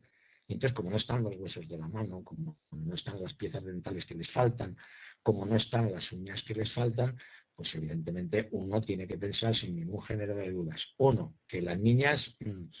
o han estado enterradas en otro sitio, o dos, que las lesiones que les han producido no son las que nos cuentan los médicos forenses en sus informes de autopsia. Eh, sí, en esa parte creo que hay también una, una interrogante porque, o sea, es algo muy lógico, inclusive eh, ni siquiera cuando criaron la tierra de la fosa apareció absolutamente nada de eso. Aparecieron otras cosas, pero eso no apareció. Eh, a mí me gustaría hacerte una pregunta y bueno, eh, tú decides si hasta dónde puedes y si puedes responderla. Se me está ocurriendo el tema de la secuestradora que en otros programas habías mencionado que también terminó con un final parecido al de las niñas. Eh, ¿Sería posible o existió algún momento la posibilidad o la duda de que eh, aparte de los tres cuerpos de Miriam Toña de Siré hubiera otro cuerpo más en esa fosa? Porque inclusive también está la versión esta de que en esa fosa estaba enterrado Antonio Anglés y de hecho aparecieron unos huesos que no pertenecían a ninguna de ellas tres. ¿Pudiera ser esta una hipótesis viable tomando en cuenta el hecho de que lo que hablábamos ahora, había algo más dentro de la fosa que no se quería que se viera. Tal vez podría ser que dentro de esa fosa había un cuarto cadáver. No, concretamente en, la fosa, según me consta, mm, el único cadáver que estuvo enterrado con, anterioridad fue el cadáver de, de Antonio Anglés Martins el, el, hecho de que aparecieran mm, otros huesos que evidentemente no pertenecen ningunos a, las niñas mm, forman parte de, ese cúmulo de, pruebas que, que esa mar negra que, que, vamos a ir viendo a lo largo de los capítulos y que al final vamos a intentar desvelar en la medida de lo posible mm, quién era y quiénes eran los que los que la dirigían han, han ido colocando al objeto de, de poder inculpar en, en su momento a, a, determinadas personas por estos hechos. Eh, yo estoy absolutamente convencido, sin ningún género de dudas, que los restos hallados en, en el interior de la fosa mm, pertenecen a, a, dos cadáveres distintos y además dos cadáveres distintos de víctimas de de un crimen que tuvo una gran relevancia en, los medios de comunicación en, nuestro país. y eso es desgraciadamente todo lo que podemos desvelar de, momento. Pero dejar claro que el cadáver que estuvo con anterioridad en esa fosa es el cadáver de, de Antonio Anglés y que el cadáver de Antonio Anglés es sacado con anterioridad de esa fosa y ahí está colocado ese el, el, grupo de, de, los cuerpos de, de las tres niñas que como tú decías antes perfectamente, tienen todos los cuerpos mm, recubiertos de, barro, todas las prendas de ropa recubiertas de ese barro arcilloso y sin embargo la alfombra en la que, en la que están envueltos no tiene absolutamente una sola gota de, barro, algo que, que, resulta desde luego absolutamente imposible si esa alfombra y esos cuerpos hubieran estado enterrados ahí el mismo tiempo, tanto la alfombra como, como los cadáveres. Ok, y una pregunta, digamos, como para ir finalizando, digamos, lo que es este capítulo eh, de momento. Eh, la alfombra esta o la que sacan del interior de la fosa, eh, en una fosa que no era tan profunda, para enterrar tres cuerpos, a mí la única finalidad que se me ocurre pensando muy mal es que se usó para transportar los cuerpos ahí, porque no tiene ningún sentido que dentro de una, una fosa donde se van a, enterrar unos cuerpos se, se, ponga algo debajo, digamos como en este caso esta alfombra que, que se ve en las fotografías. Eh, ¿Se le dio alguna vez alguna explicación a ese hecho o es uno de los tantos misterios que quedaron para la posteridad? Bueno, oficialmente hubo un momento en el que quisieron contar que, la, la, famosa moqueta marrón, esta alfombra marrón, que es la que luego oficialmente existe, que como tú dices, además ocupa muchísimo tamaño, algo absolutamente ilógico en una fosa que, que tenía tan poca profundidad y tenía tan poca profundidad porque es una zona de terreno donde, donde cavar cuesta, cuesta muchísimo. Mm, había sido mm, utilizada para poder trasladar alguno de, los cuerpos desde, desde la caseta de la romana hasta, hasta la fosa. Eso, mm, como yo he podido comprobar, es absolutamente imposible, pero es absolutamente imposible porque nosotros hemos intentado reproducir ese mismo tipo de, de, pruebas con, con, una alfombra menos grande y menos pesada que, que la que apareció en el interior de la fosa con, un cuerpo y don Fernando García delante y yo detrás no hemos tenido manera de subir las cuestas desde la caseta de la romana hasta la fosa con, el cuerpo llevado en, en, en, la alfombra. Es físicamente imposible, salvo que estuviéramos hablando de dos personas dotadas físicamente de una fuerza y de una agilidad sobrehumana, porque estamos hablando que hay que subir por un caminito por el que eh, tienes hay tramos de, ese camino donde tienes 40 centímetros y 30 centímetros y si miras para el otro lado te caes al barranco. Entonces no es una zona fácil, no es decir, no, es que vamos andando por un camino y la llevamos como si fueran parihuelas dentro de, la alfombra. Dicen, no, no, hay que subir por, por un camino que hay que ir en fila de a uno Mm, cargando con el cuerpo y mm, todo el tramo cuesta arriba, desde la caseta hasta, hasta la romana. Y eso evidentemente es absolutamente ilógico, es mucho más fácil que cualquiera de ellos hubiera cargado a, a caballito, como se llama, o lo hubiera llevado en brazos y hubiera subido el, el, cuerpo con mucha mayor facilidad que, que con la alfombra. Lo que pasa es que mm, al no encontrarle nunca explicación lógica a la aparición de, de esa alfombra, pues intentarán justificar esos hechos. Lo que pasa es que lo que ocurre es lo que yo he mantenido y, sigo manteniendo, y es que lo único que se hace es dar un cambiazo con las alfombras. Y se da un cambiazo con las alfombras, ¿por qué? Porque hay una alfombra mm, que está enterrada debajo de los cuerpos de las niñas que indiscutiblemente es una prueba que de alguna manera conduciría hacia determinadas personas pero de una forma absolutamente clara y palpable. Al no poder hacer eso, mm, lo único que se hace es, mm, bueno, pues lo que aquí llamamos las triles, son trileros, pegan el cambiazo, como están con el cubilete y el garbancito, ¿sabes? y, busca la bolita y busca la bolita. Y dices, oiga, ustedes lo que aquí hacen es, es dar el cambiazo. Pero no solamente dan el cambiazo en eso, dan el cambiazo en muchas cosas y eso se produce por algo que no te he contestado antes a la pregunta porque me he ido por los cerros de como siempre, al respecto de, del tiempo que, los cuerpos pasan en, en, el cuartel de la Guardia Civil de Yombay antes de ser trasladados al Instituto Anatómico Forense. A todos nos llamó poderosamente la atención que tuvieran que estar tantísimo tiempo para esperar a que vinieran tres coches fúnebres para trasladar los cadáveres, porque eso mm, podían haber tardado 20 minutos, media hora, tres cuartos de hora, pero tres horas nunca. Eso no tiene absolutamente lógica de ninguna de las maneras. Eso es absolutamente imposible. Entonces dices, eh, ¿qué misión tiene que los cadáveres mm, estén en el cuartel de la Guardia Civil durante tres horas sin mm, vigilancia absolutamente de nadie. Pues no, tal y como están las circunstancias y tal y como ha ido comprobando cómo se va desarrollando esta investigación, tiene todo el derecho del mundo a pensar y decir, los cuerpos están allí porque lo único que hay que hacer es una mm, última inspección real de todo lo que hay y ver qué es lo que hay que retirar o ver qué es lo que hay que poner. Yo comprendo que este tipo de cosas son muy duras, pero es que no tiene ningún otro tipo de explicación. Y como luego nos encontramos con que todo lo que el forense mm, doctor Ross describe que había en el interior de la fosa, cuando luego estos cadáveres aparecen a la mañana siguiente encima de una mesa de autopsias,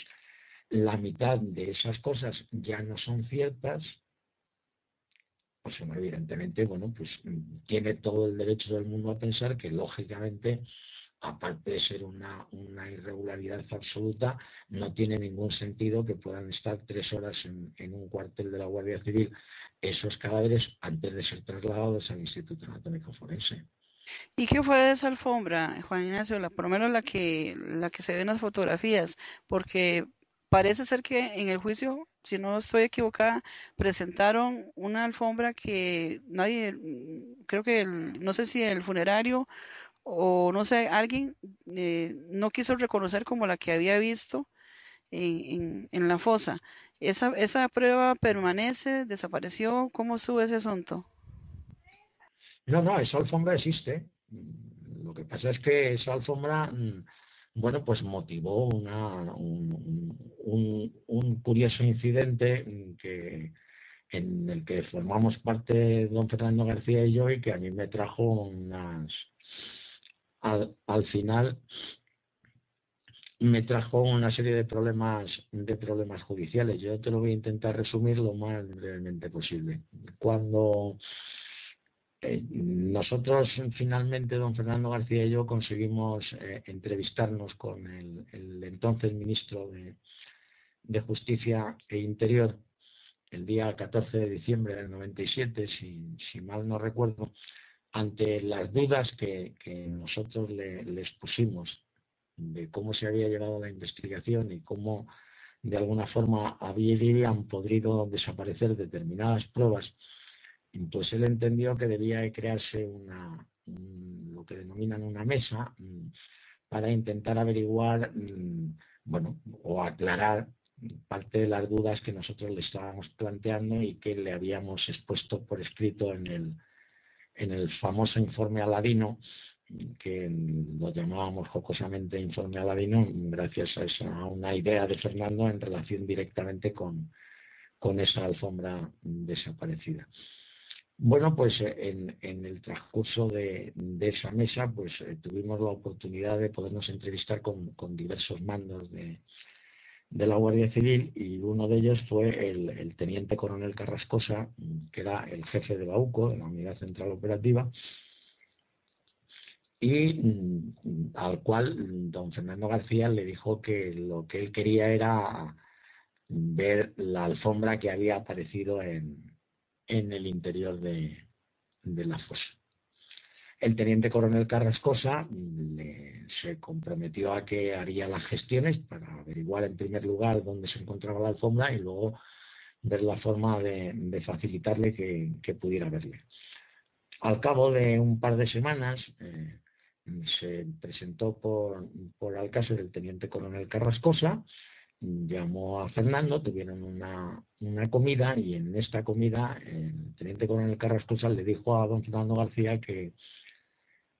que bueno, que la moqueta que pues que estaba en el cuartel de Patrais en, en, en Valencia y que estaba allí metida en, en, un trastero y que un guardia que, que entró nuevo pues vio aquello que era una guardería y la sacó al patio y la, y la prendió fuego. ¿Le prendió claro, fuego? Cuando, eso es lo que le comentó textualmente a, a, don Fernando García. Entonces, claro, pues don Fernando García se quedó completamente extrañado de, los hechos y mucho más extrañados cuando al día siguiente el diario Las Provincias de Valencia pues publicaba un, una información similar diciendo más o menos textualmente que, que según nos informan fuentes de la Guardia Civil, la alfombra en la que aparecieron enterrados los cadáveres de Miriam Toñi de Siré fue quemada en, en el cuartel de Patrais por error por un, por un guardia civil que había llegado nuevo. Ante estos hechos, pues la siguiente noche, en el programa Esta noche cruzamos en el Mississippi, en el que don Fernando García y yo participamos, pues hicimos público el hecho. Y entonces se comentó pues, que había tenido una reunión con el teniente coronel Carrascosa y que le había dicho esta barbaridad, que habían prendido fuego a, a la sonda. Eh, es al increíble, ¿sí? Ya, ya, pero es que al día siguiente, y esto es mucho más increíble, al día siguiente, el teniente coronel Carrascosa mmm, hace un, un parte de prensa en el que dice que él nunca le ha dicho a don Fernando García que la alfombra se hubiera quemado en el cuartel de Patrais y que es más, la alfombra está en esos momentos en poder de su perito, el profesor Frontela, que la está analizando. Y efectivamente era así. Pues es... La alfombra estaba en Sevilla, en el laboratorio del profesor Frontela, y la estaba analizando el profesor Frontela. Pero yo puedo dar fe sin ningún género de duda que este señor, por llamarle de alguna manera, el teniente coronel Carrascosa, que luego hizo una gran carrera como militar, ahora mismo general, entre otras cosas, dijo textualmente esos hechos y está publicado igualmente en el diario Las Provincias de Valencia. Y lo hizo con la única finalidad de que don Fernando García y yo hiciéramos público eso para al día siguiente presentar una querella criminal contra nosotros por injurias y calumnias.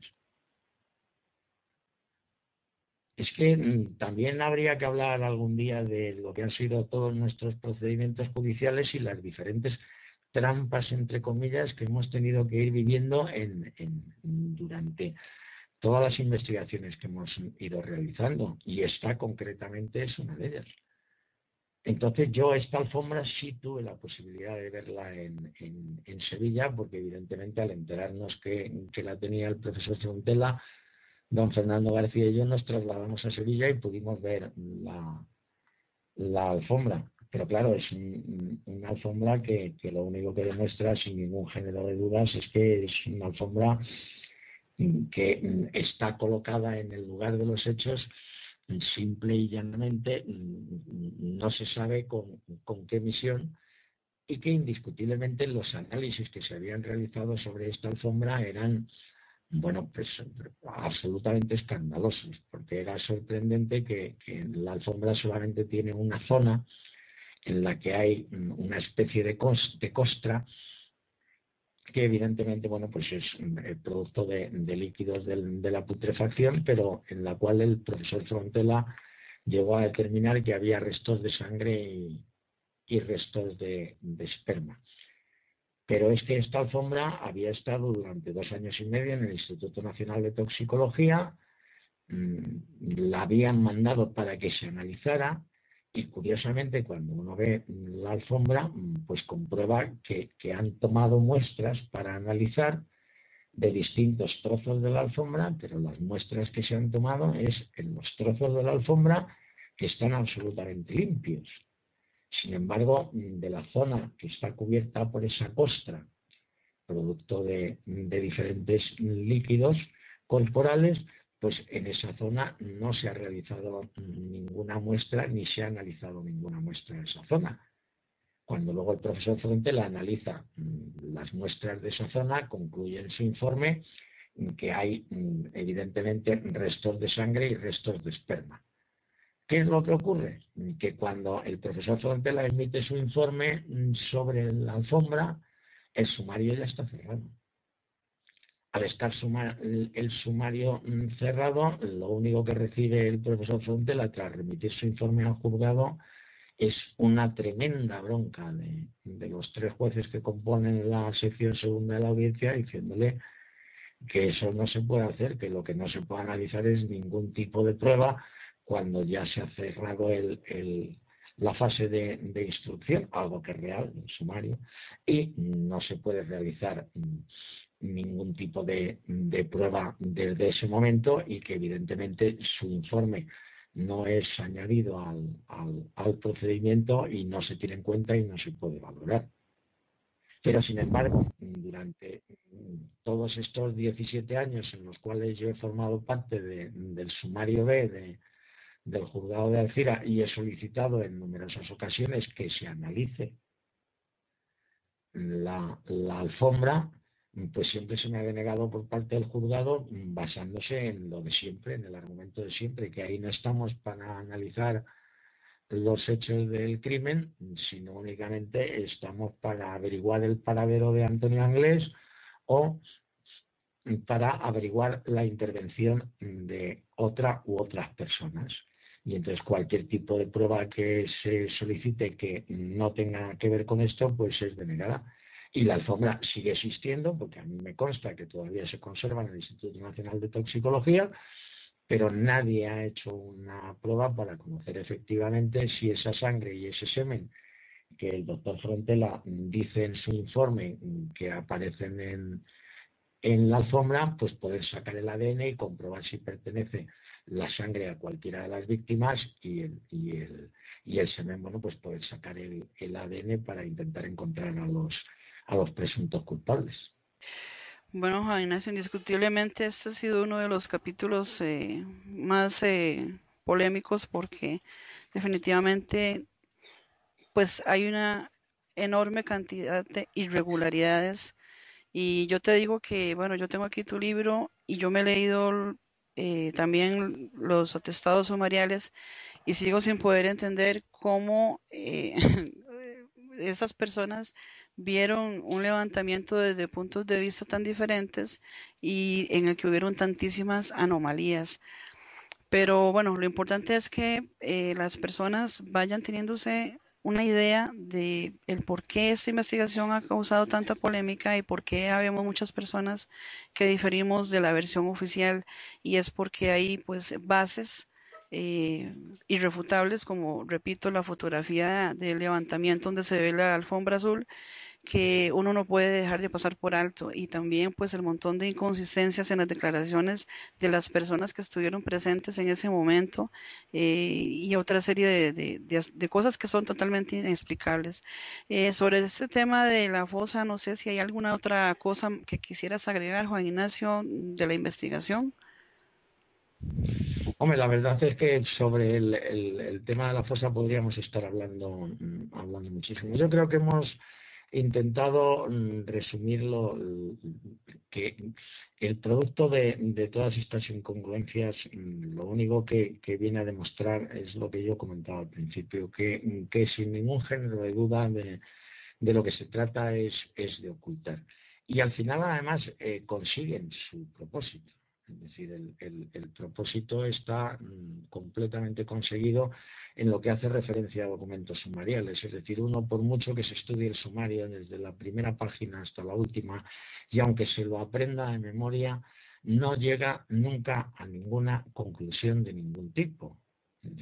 es mm, algo mm, absolutamente misterioso. Es decir, convierte el, crimen de, las tres niñas en una obra digna de, de Agatha Christie, en la que desgraciadamente todavía no tenemos a Agatha Christie para que para que nos resuelva al final, pero yo creo que al final entre todos vamos a, a conseguir eh, sacar a la luz qué es lo que realmente ocurrió con, con las niñas y quiénes fueron realmente mm, sus autores. Y todo ello pese a todo este número de trabas tan importantes que han ido poniendo a lo largo del camino, como son todo este tipo de documentos y declaraciones que lo único que hacen es contradecirse los unos con los otros, consiguiendo crear un batiburrillo en el que uno ya no sabe a qué atenerse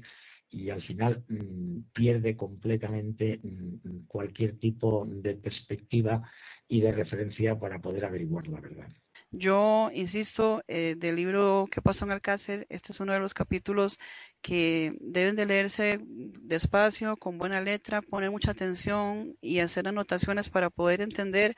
eh, la serie de irregularidades que existen, porque la verdad es que ya desde ahí, desde ese momento, pues empezó eh, una investigación que lo único que conllevó con todo esto fue precisamente pues a hacer más dudoso eh, todo el, proceso y pues todas las cosas que vinieron después. Eh, quiero darte las gracias, Juan Ignacio, por habernos dado el privilegio de tener eh, otro programa contigo. Y pues para la próxima ocasión empezamos a tratar lo que sería el tema de la, la famosa detención eh, de Antonio Anglés cuando se fue a la casa en base a los papelitos encontrados en la romana y pues eso lo estaremos analizando en el próximo programa que también pueden ir haciendo eh, sus preguntas o eh, planteando todas sus dudas. Eh, muchísimas gracias Juan Ignacio y pues esperamos pues, muy pronto eh, volver a conversar para seguir analizando este libro y ojalá que de verdad, porque ese es el objetivo de este programa, lleguemos un día a conocer los hechos. Si tal vez ya no se puede hacer legalmente nada, por lo menos llegarlos a conocer. Yo creo que eh, es algo que, que, la gente debe de, de entender de que aquí hay irregularidades y que las irregularidades se presentan cuando se tiene algo que ocultar y que no son cosas normales que sucedan en una investigación y que no se hace falta ser un experto para pues, no notar que hay eh, cosas eh, como eh, esto de, la alfombra, de las piezas que no faltan, pero otras sí existen y cosas que no pertenecen. Es decir, una serie de elementos que definitivamente hacen que este caso siga siendo 21 años después el motivo de una serie innumerable de conjeturas y de hipótesis y de más preguntas que respuestas aquí hay algunas personas que me enviaron eh, referente al capítulo de la búsqueda unas preguntas eh, porque hay algunas dudas, por ejemplo, eh, sobre una famosa furgoneta que, donde dicen que vieron a las niñas y hay un lío también de que aparentemente una de esas furgonetas era del papá del dueño de Color, de Ramón Polo. Sí, sí, Polo Arbona, sí. Y que este sobre eso eh, hay alguna duda. Sobre, sobre este tema en particular, eh, ¿qué podrías decirnos de esas furgonetas? Bueno, lo, de las furgonetas fue un, un, un tema a, a, priori extraño, porque eh, cuando yo estaba trabajando entonces con Fernando en el asunto, un día me comentando cosas de las que había tenido el conocimiento a lo largo de, de los tres años que habían pasado desde que aparecieron los cadáveres hasta que yo empecé a, a trabajar con él, pues me comentó que él tenía un, un, conocido suyo, porque le había vendido en algún momento colchones, que, que un día se había presentado en, en su casa para comentarle que, que se había quedado un poco extrañado porque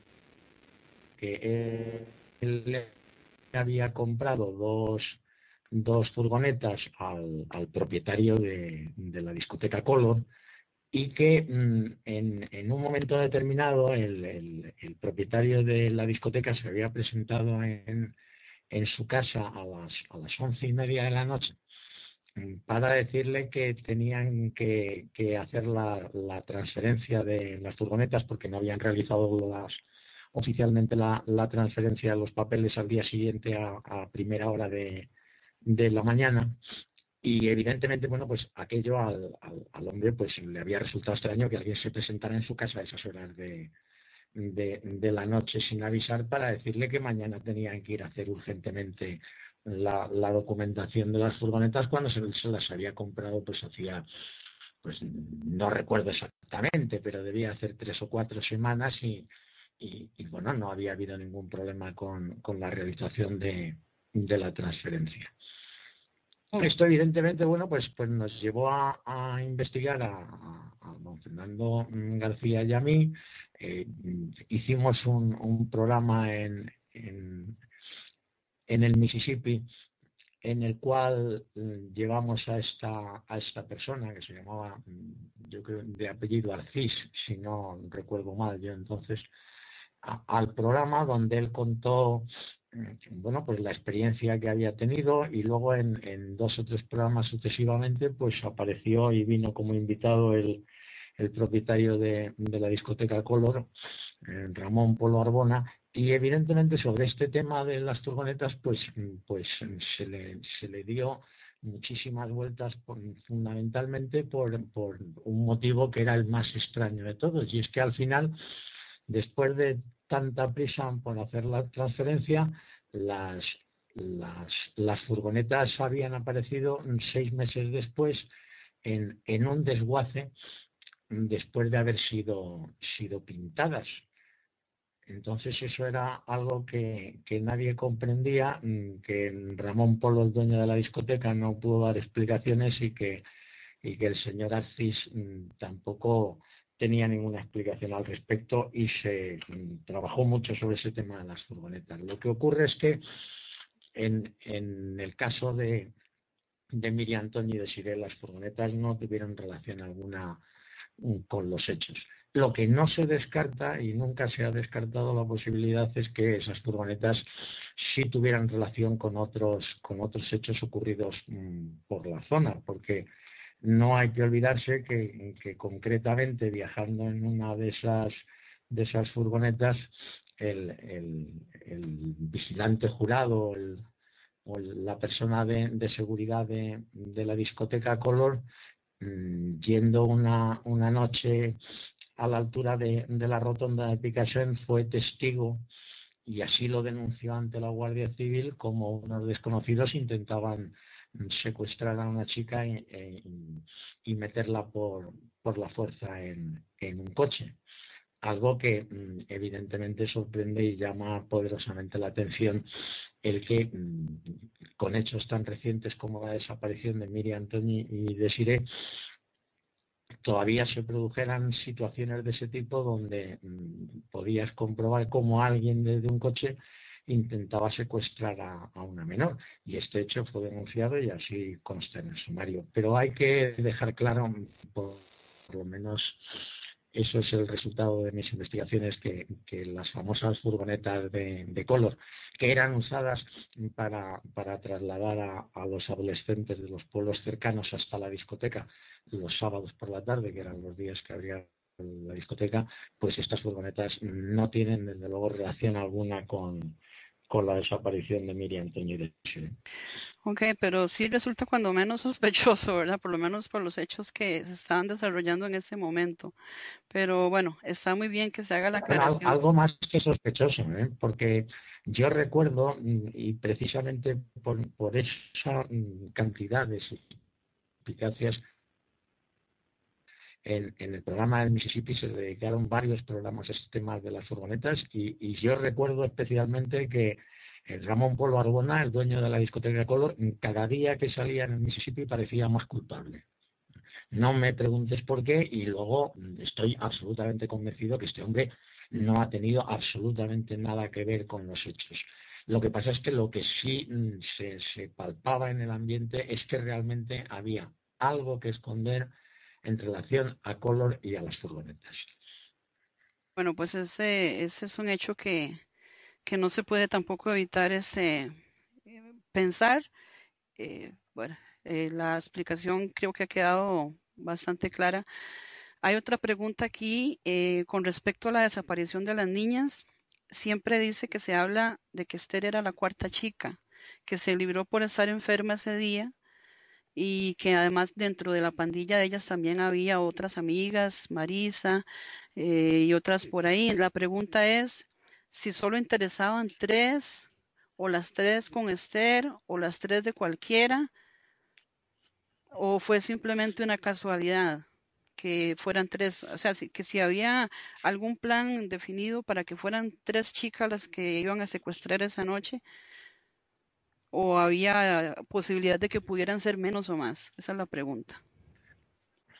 Mm. Bueno, pues yo te lo voy a contestar muy sencillamente. La posibilidad de que fueran menos, no.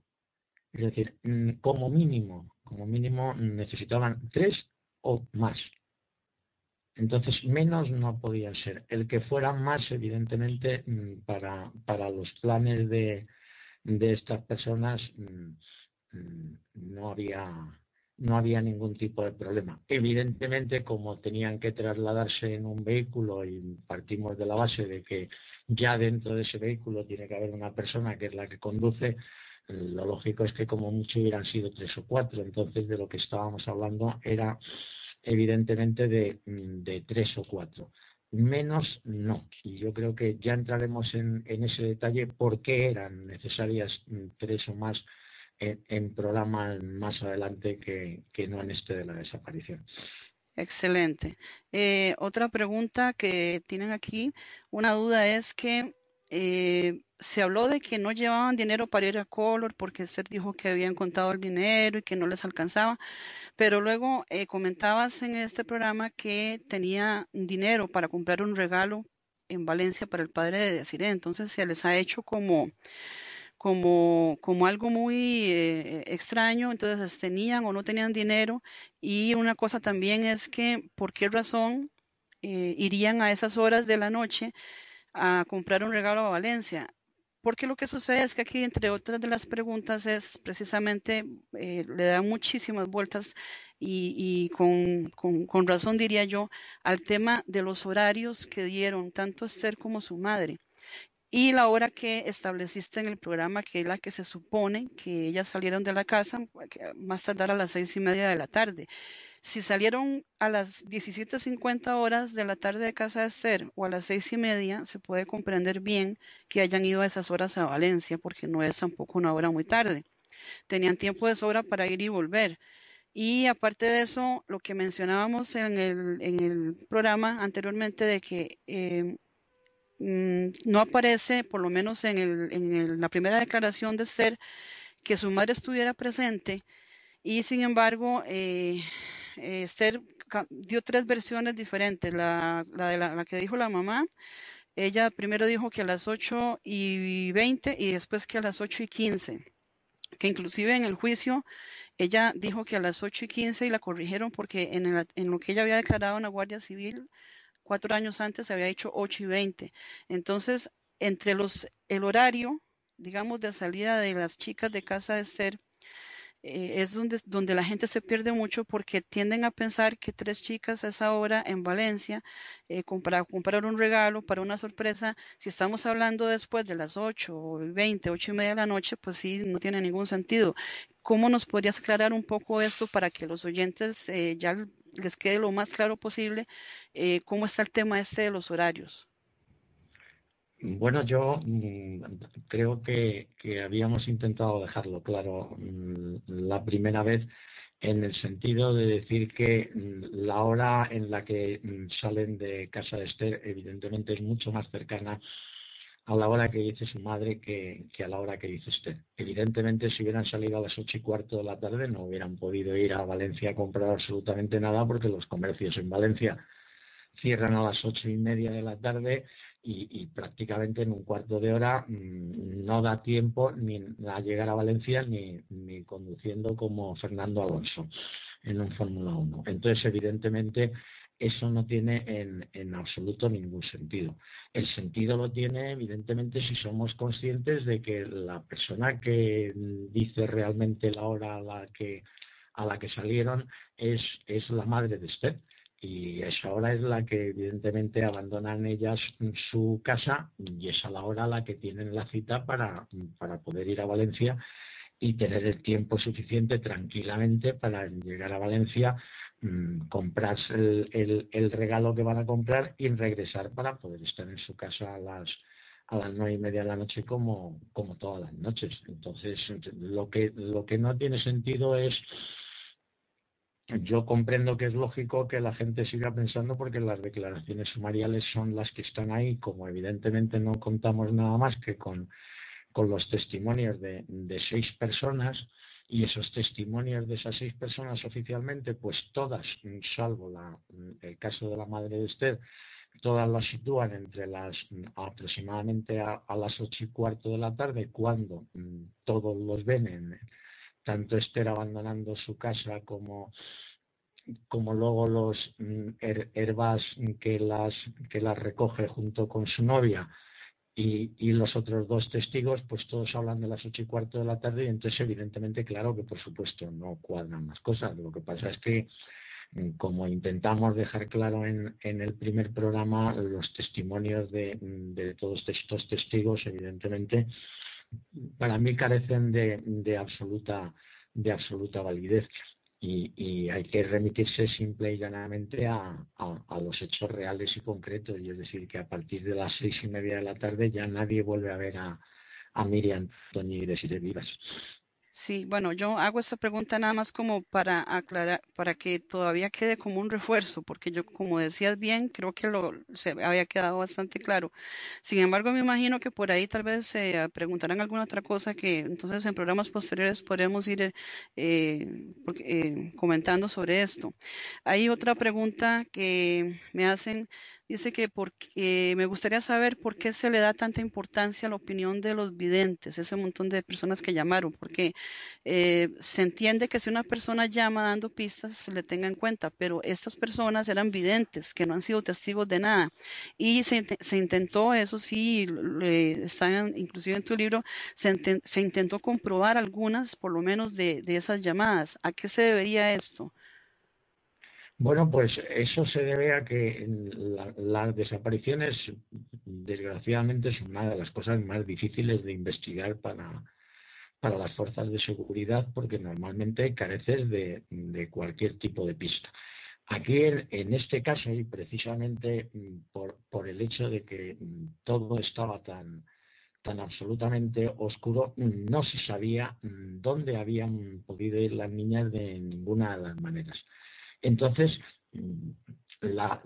una vez que se ha buscado por, todas las zonas cercanas a, la población, cuando ya se han dado batidas alrededor de la, discoteca Color y, todo el recorrido que hay desde, desde hasta la discoteca Color, todas las zonas de los chales cercanas, las zonas de los campos de naranjos y las casetas habían buscado hasta en pozos, pues llega un momento en que, en que los investigadores no tienen absolutamente ninguna pista de lo que ha podido ocurrir. ¿Qué es lo que ocurre? Pues cuando no tienes ninguna pista de lo que ha podido ocurrir y mm, llama alguien diciendo que es un vidente que dice que las ha visto en un sitio, pues en lugar de estar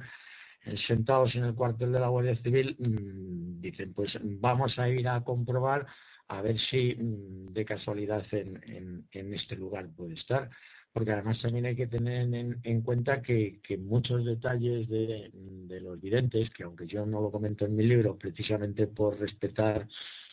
anonimatos y propiedades, eh,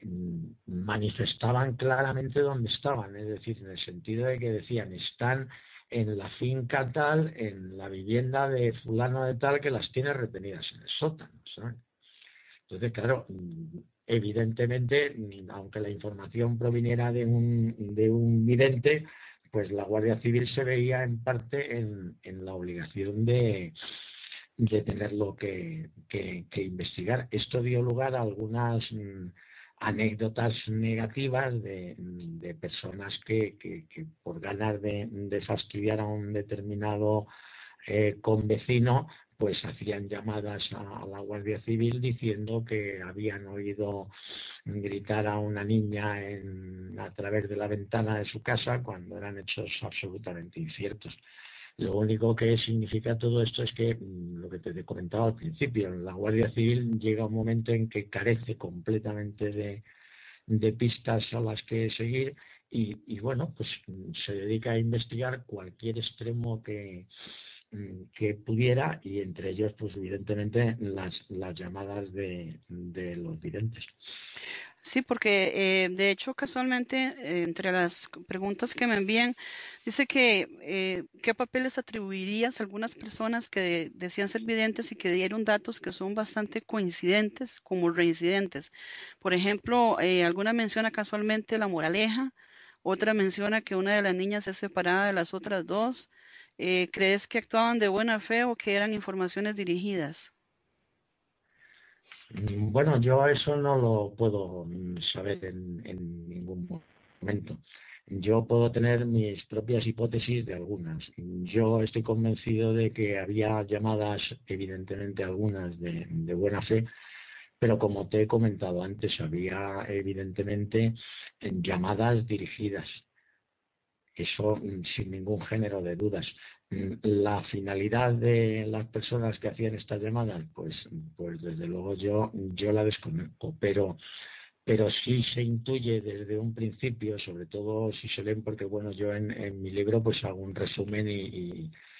creo recordar que pongo seis o siete mm, más o menos de estas informaciones de, de evidentes, pero se recibieron más de, bueno, yo creo que hay hay casi 250 o 260 folios en, en el sumario única y exclusivamente de, este tipo de llamadas por personas que no solamente eran videntes, otros mm, manejaban el péndulo, todos lo habían llegado a través de la Ouija o a través de... y había gente que lo había hasta soñado en un momento determinado. Es decir, es, es francamente curioso la cantidad de personas que, que en un momento determinado, en un suceso de, este tipo y con, con, tanta relevancia, pues, pues les hace surgir ese, ese tipo de poderes que mm, nunca se sabe si es por ganas de, de ayudar, mm, otras veces, como te he comentado, por ganas simplemente de, de molestar a un, a un convecino que, que le caía mal o alguna que otra, pues evidentemente a lo mejor pues mm, con la finalidad de, que las investigaciones vayan por, por derroteros equivocados. Ya a este respecto, me gustaría comentarte una de las múltiples anécdotas que, que yo viví personalmente con, con, este tipo de situaciones, y era que cuando nosotros empezamos a salir, don Fernando García y yo, mm, de forma más o menos habitual en los medios de comunicación, pues empezaron a acercarse a, nosotros una cantidad enorme de, de videntes distintos que, que todos nos decían que tenían que hablar con nosotros y transmitirnos un mensaje que habían recibido de las niñas. Y, y, el mensaje que habían recibido de las niñas siempre era que teníamos que dejar de salir en televisión y que teníamos que dejar de hablar del tema porque sus almas no podían descansar mientras nosotros estuviéramos mm, hablando de, del tema. A esto hay que añadir que uno, uno de ellos, que fue una, una experiencia bastante curiosa, mm, nos llamó un, matrimonio francés que tenían un, un, un, chalet en una población cercana a Valencia y que eh, tenían, conocían a un famoso vidente francés que les había llamado para comentarles que había tenido una, una visión con, con, las niñas y que ellos pues que iban a, a, sufragar todos los gastos para que el vidente francés este viniera a, a su chalet y se reuniera con, con Fernando para, para transmitirle el, el, mensaje que había recibido de, de, su hija. Yo, junto con otro compañero de, en las labores de, de investigación y don Fernando García, bueno, acudimos el, el día que nos citaron al, al chalet, un, un chalet mm, francamente lujoso, en el que podías encontrarte a la puerta aparcado un mar de cinco coches y, y si uno era un Ferrari el otro era un Maserati. El, el matrimonio francés mm, gente educadísima, refinadísima, nos, nos trataron de maravilla y ahí apareció en, en, mitad de la velada que teníamos en un gran salón el, el famoso vidente francés vestido con, con una túnica blanca diciendo que iba a intentar realizar una, un pequeño acto de, concentración para, para, invocar el espíritu de las niñas y transmitirle al padre lo que, lo que querían decirle. Nos sentamos todos en, en una especie de círculo mm, donde nos cogíamos las manos y, y en un momento determinado todo el mundo tenía que, que cerrar los ojos y, y, pensar en las niñas. Y en el momento en que todos estábamos con, con los ojos cerrados se apagan todas las luces de la casa, se caen todos los sofás, incluidos los que estamos sentados, y nos caemos todos de espaldas, y un montón de perros empiezan a aullar a, Claro, evidentemente, pues no, pues el, susto que te llevas de pronto, pues es en morrocotudo. Luego todo tenía una explicación muy sencilla, había sido todo un, auténtico montaje Mm, tenían una persona afuera que era la que había apagado las luces y accionado un mecanismo que era el que movía las patas de los sofás para que se cayeran de espaldas y mm, con una aguja pinchaba a uno de los perros que tenían en, en la parte de atrás de, del chalet y el perro en cuanto va pues evidentemente todos los perros de la urbanización, es un fenómeno que se produce normalmente, cuando un perro odia, pues todos empiezan a aullar. Pero el mensaje que nos quería transmitir y que nos transmitió era exactamente el mismo que los otros videntes que te he comentado con anterioridad. Es decir, que don Fernando García y yo teníamos ya que dejar de aparecer en los medios de comunicación y dejar de hablar del tema porque las niñas no podían descansar en paz mientras continuáramos nosotros investigando el, el asunto todo esto viene simplemente a colación de contarte que, que, muchas veces, pues eso, los intereses de esos llamados videntes, pues no siempre son por, por intentar ayudar en un momento determinado, sino que muchas veces,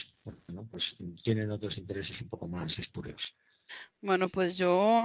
creo que las únicas pobres almas que estaban inquietas que, en que ustedes siguieran con los programas precisamente eran los que tenían que ver con el asunto, ¿verdad? No creo que hayan sido los de las niñas. Entonces, pues sí, estaban muy interesados en que dejaran el tema. Así que es eh, una, una ironía que no puedo dejar pasar. Sí, no, bueno, es, ahora que estamos contando anécdotas, mm, bueno, hubo, hubo otra nosotros todos los días, cuando volábamos desde, desde Madrid hasta Valencia, que lo hacíamos todas las mañanas para asistir a la sesión de, del juicio, tomábamos un, un café en una cafetería cercana a la, a la audiencia y luego íbamos andando desde la cafetería hasta, hasta la audiencia para ver el juicio. Todo ese recorrido nuestro, bueno, pues las aceras estaban llenas de gente y la gente, bueno, pues dándole abrazos a Fernando y, y ánimo y aplausos y eres el mejor y el más grande, bueno, todo eso que era no, no, no. uno de los días que íbamos tranquilamente, bueno, pues haciendo ese recorrido hasta la puerta de la audiencia, de pronto yo noto que me están golpeando en, en la espalda con, con una especie de palo y, y, miro para atrás y había, bueno, pues una vieja de unos ochenta y algún años, ¿sabes?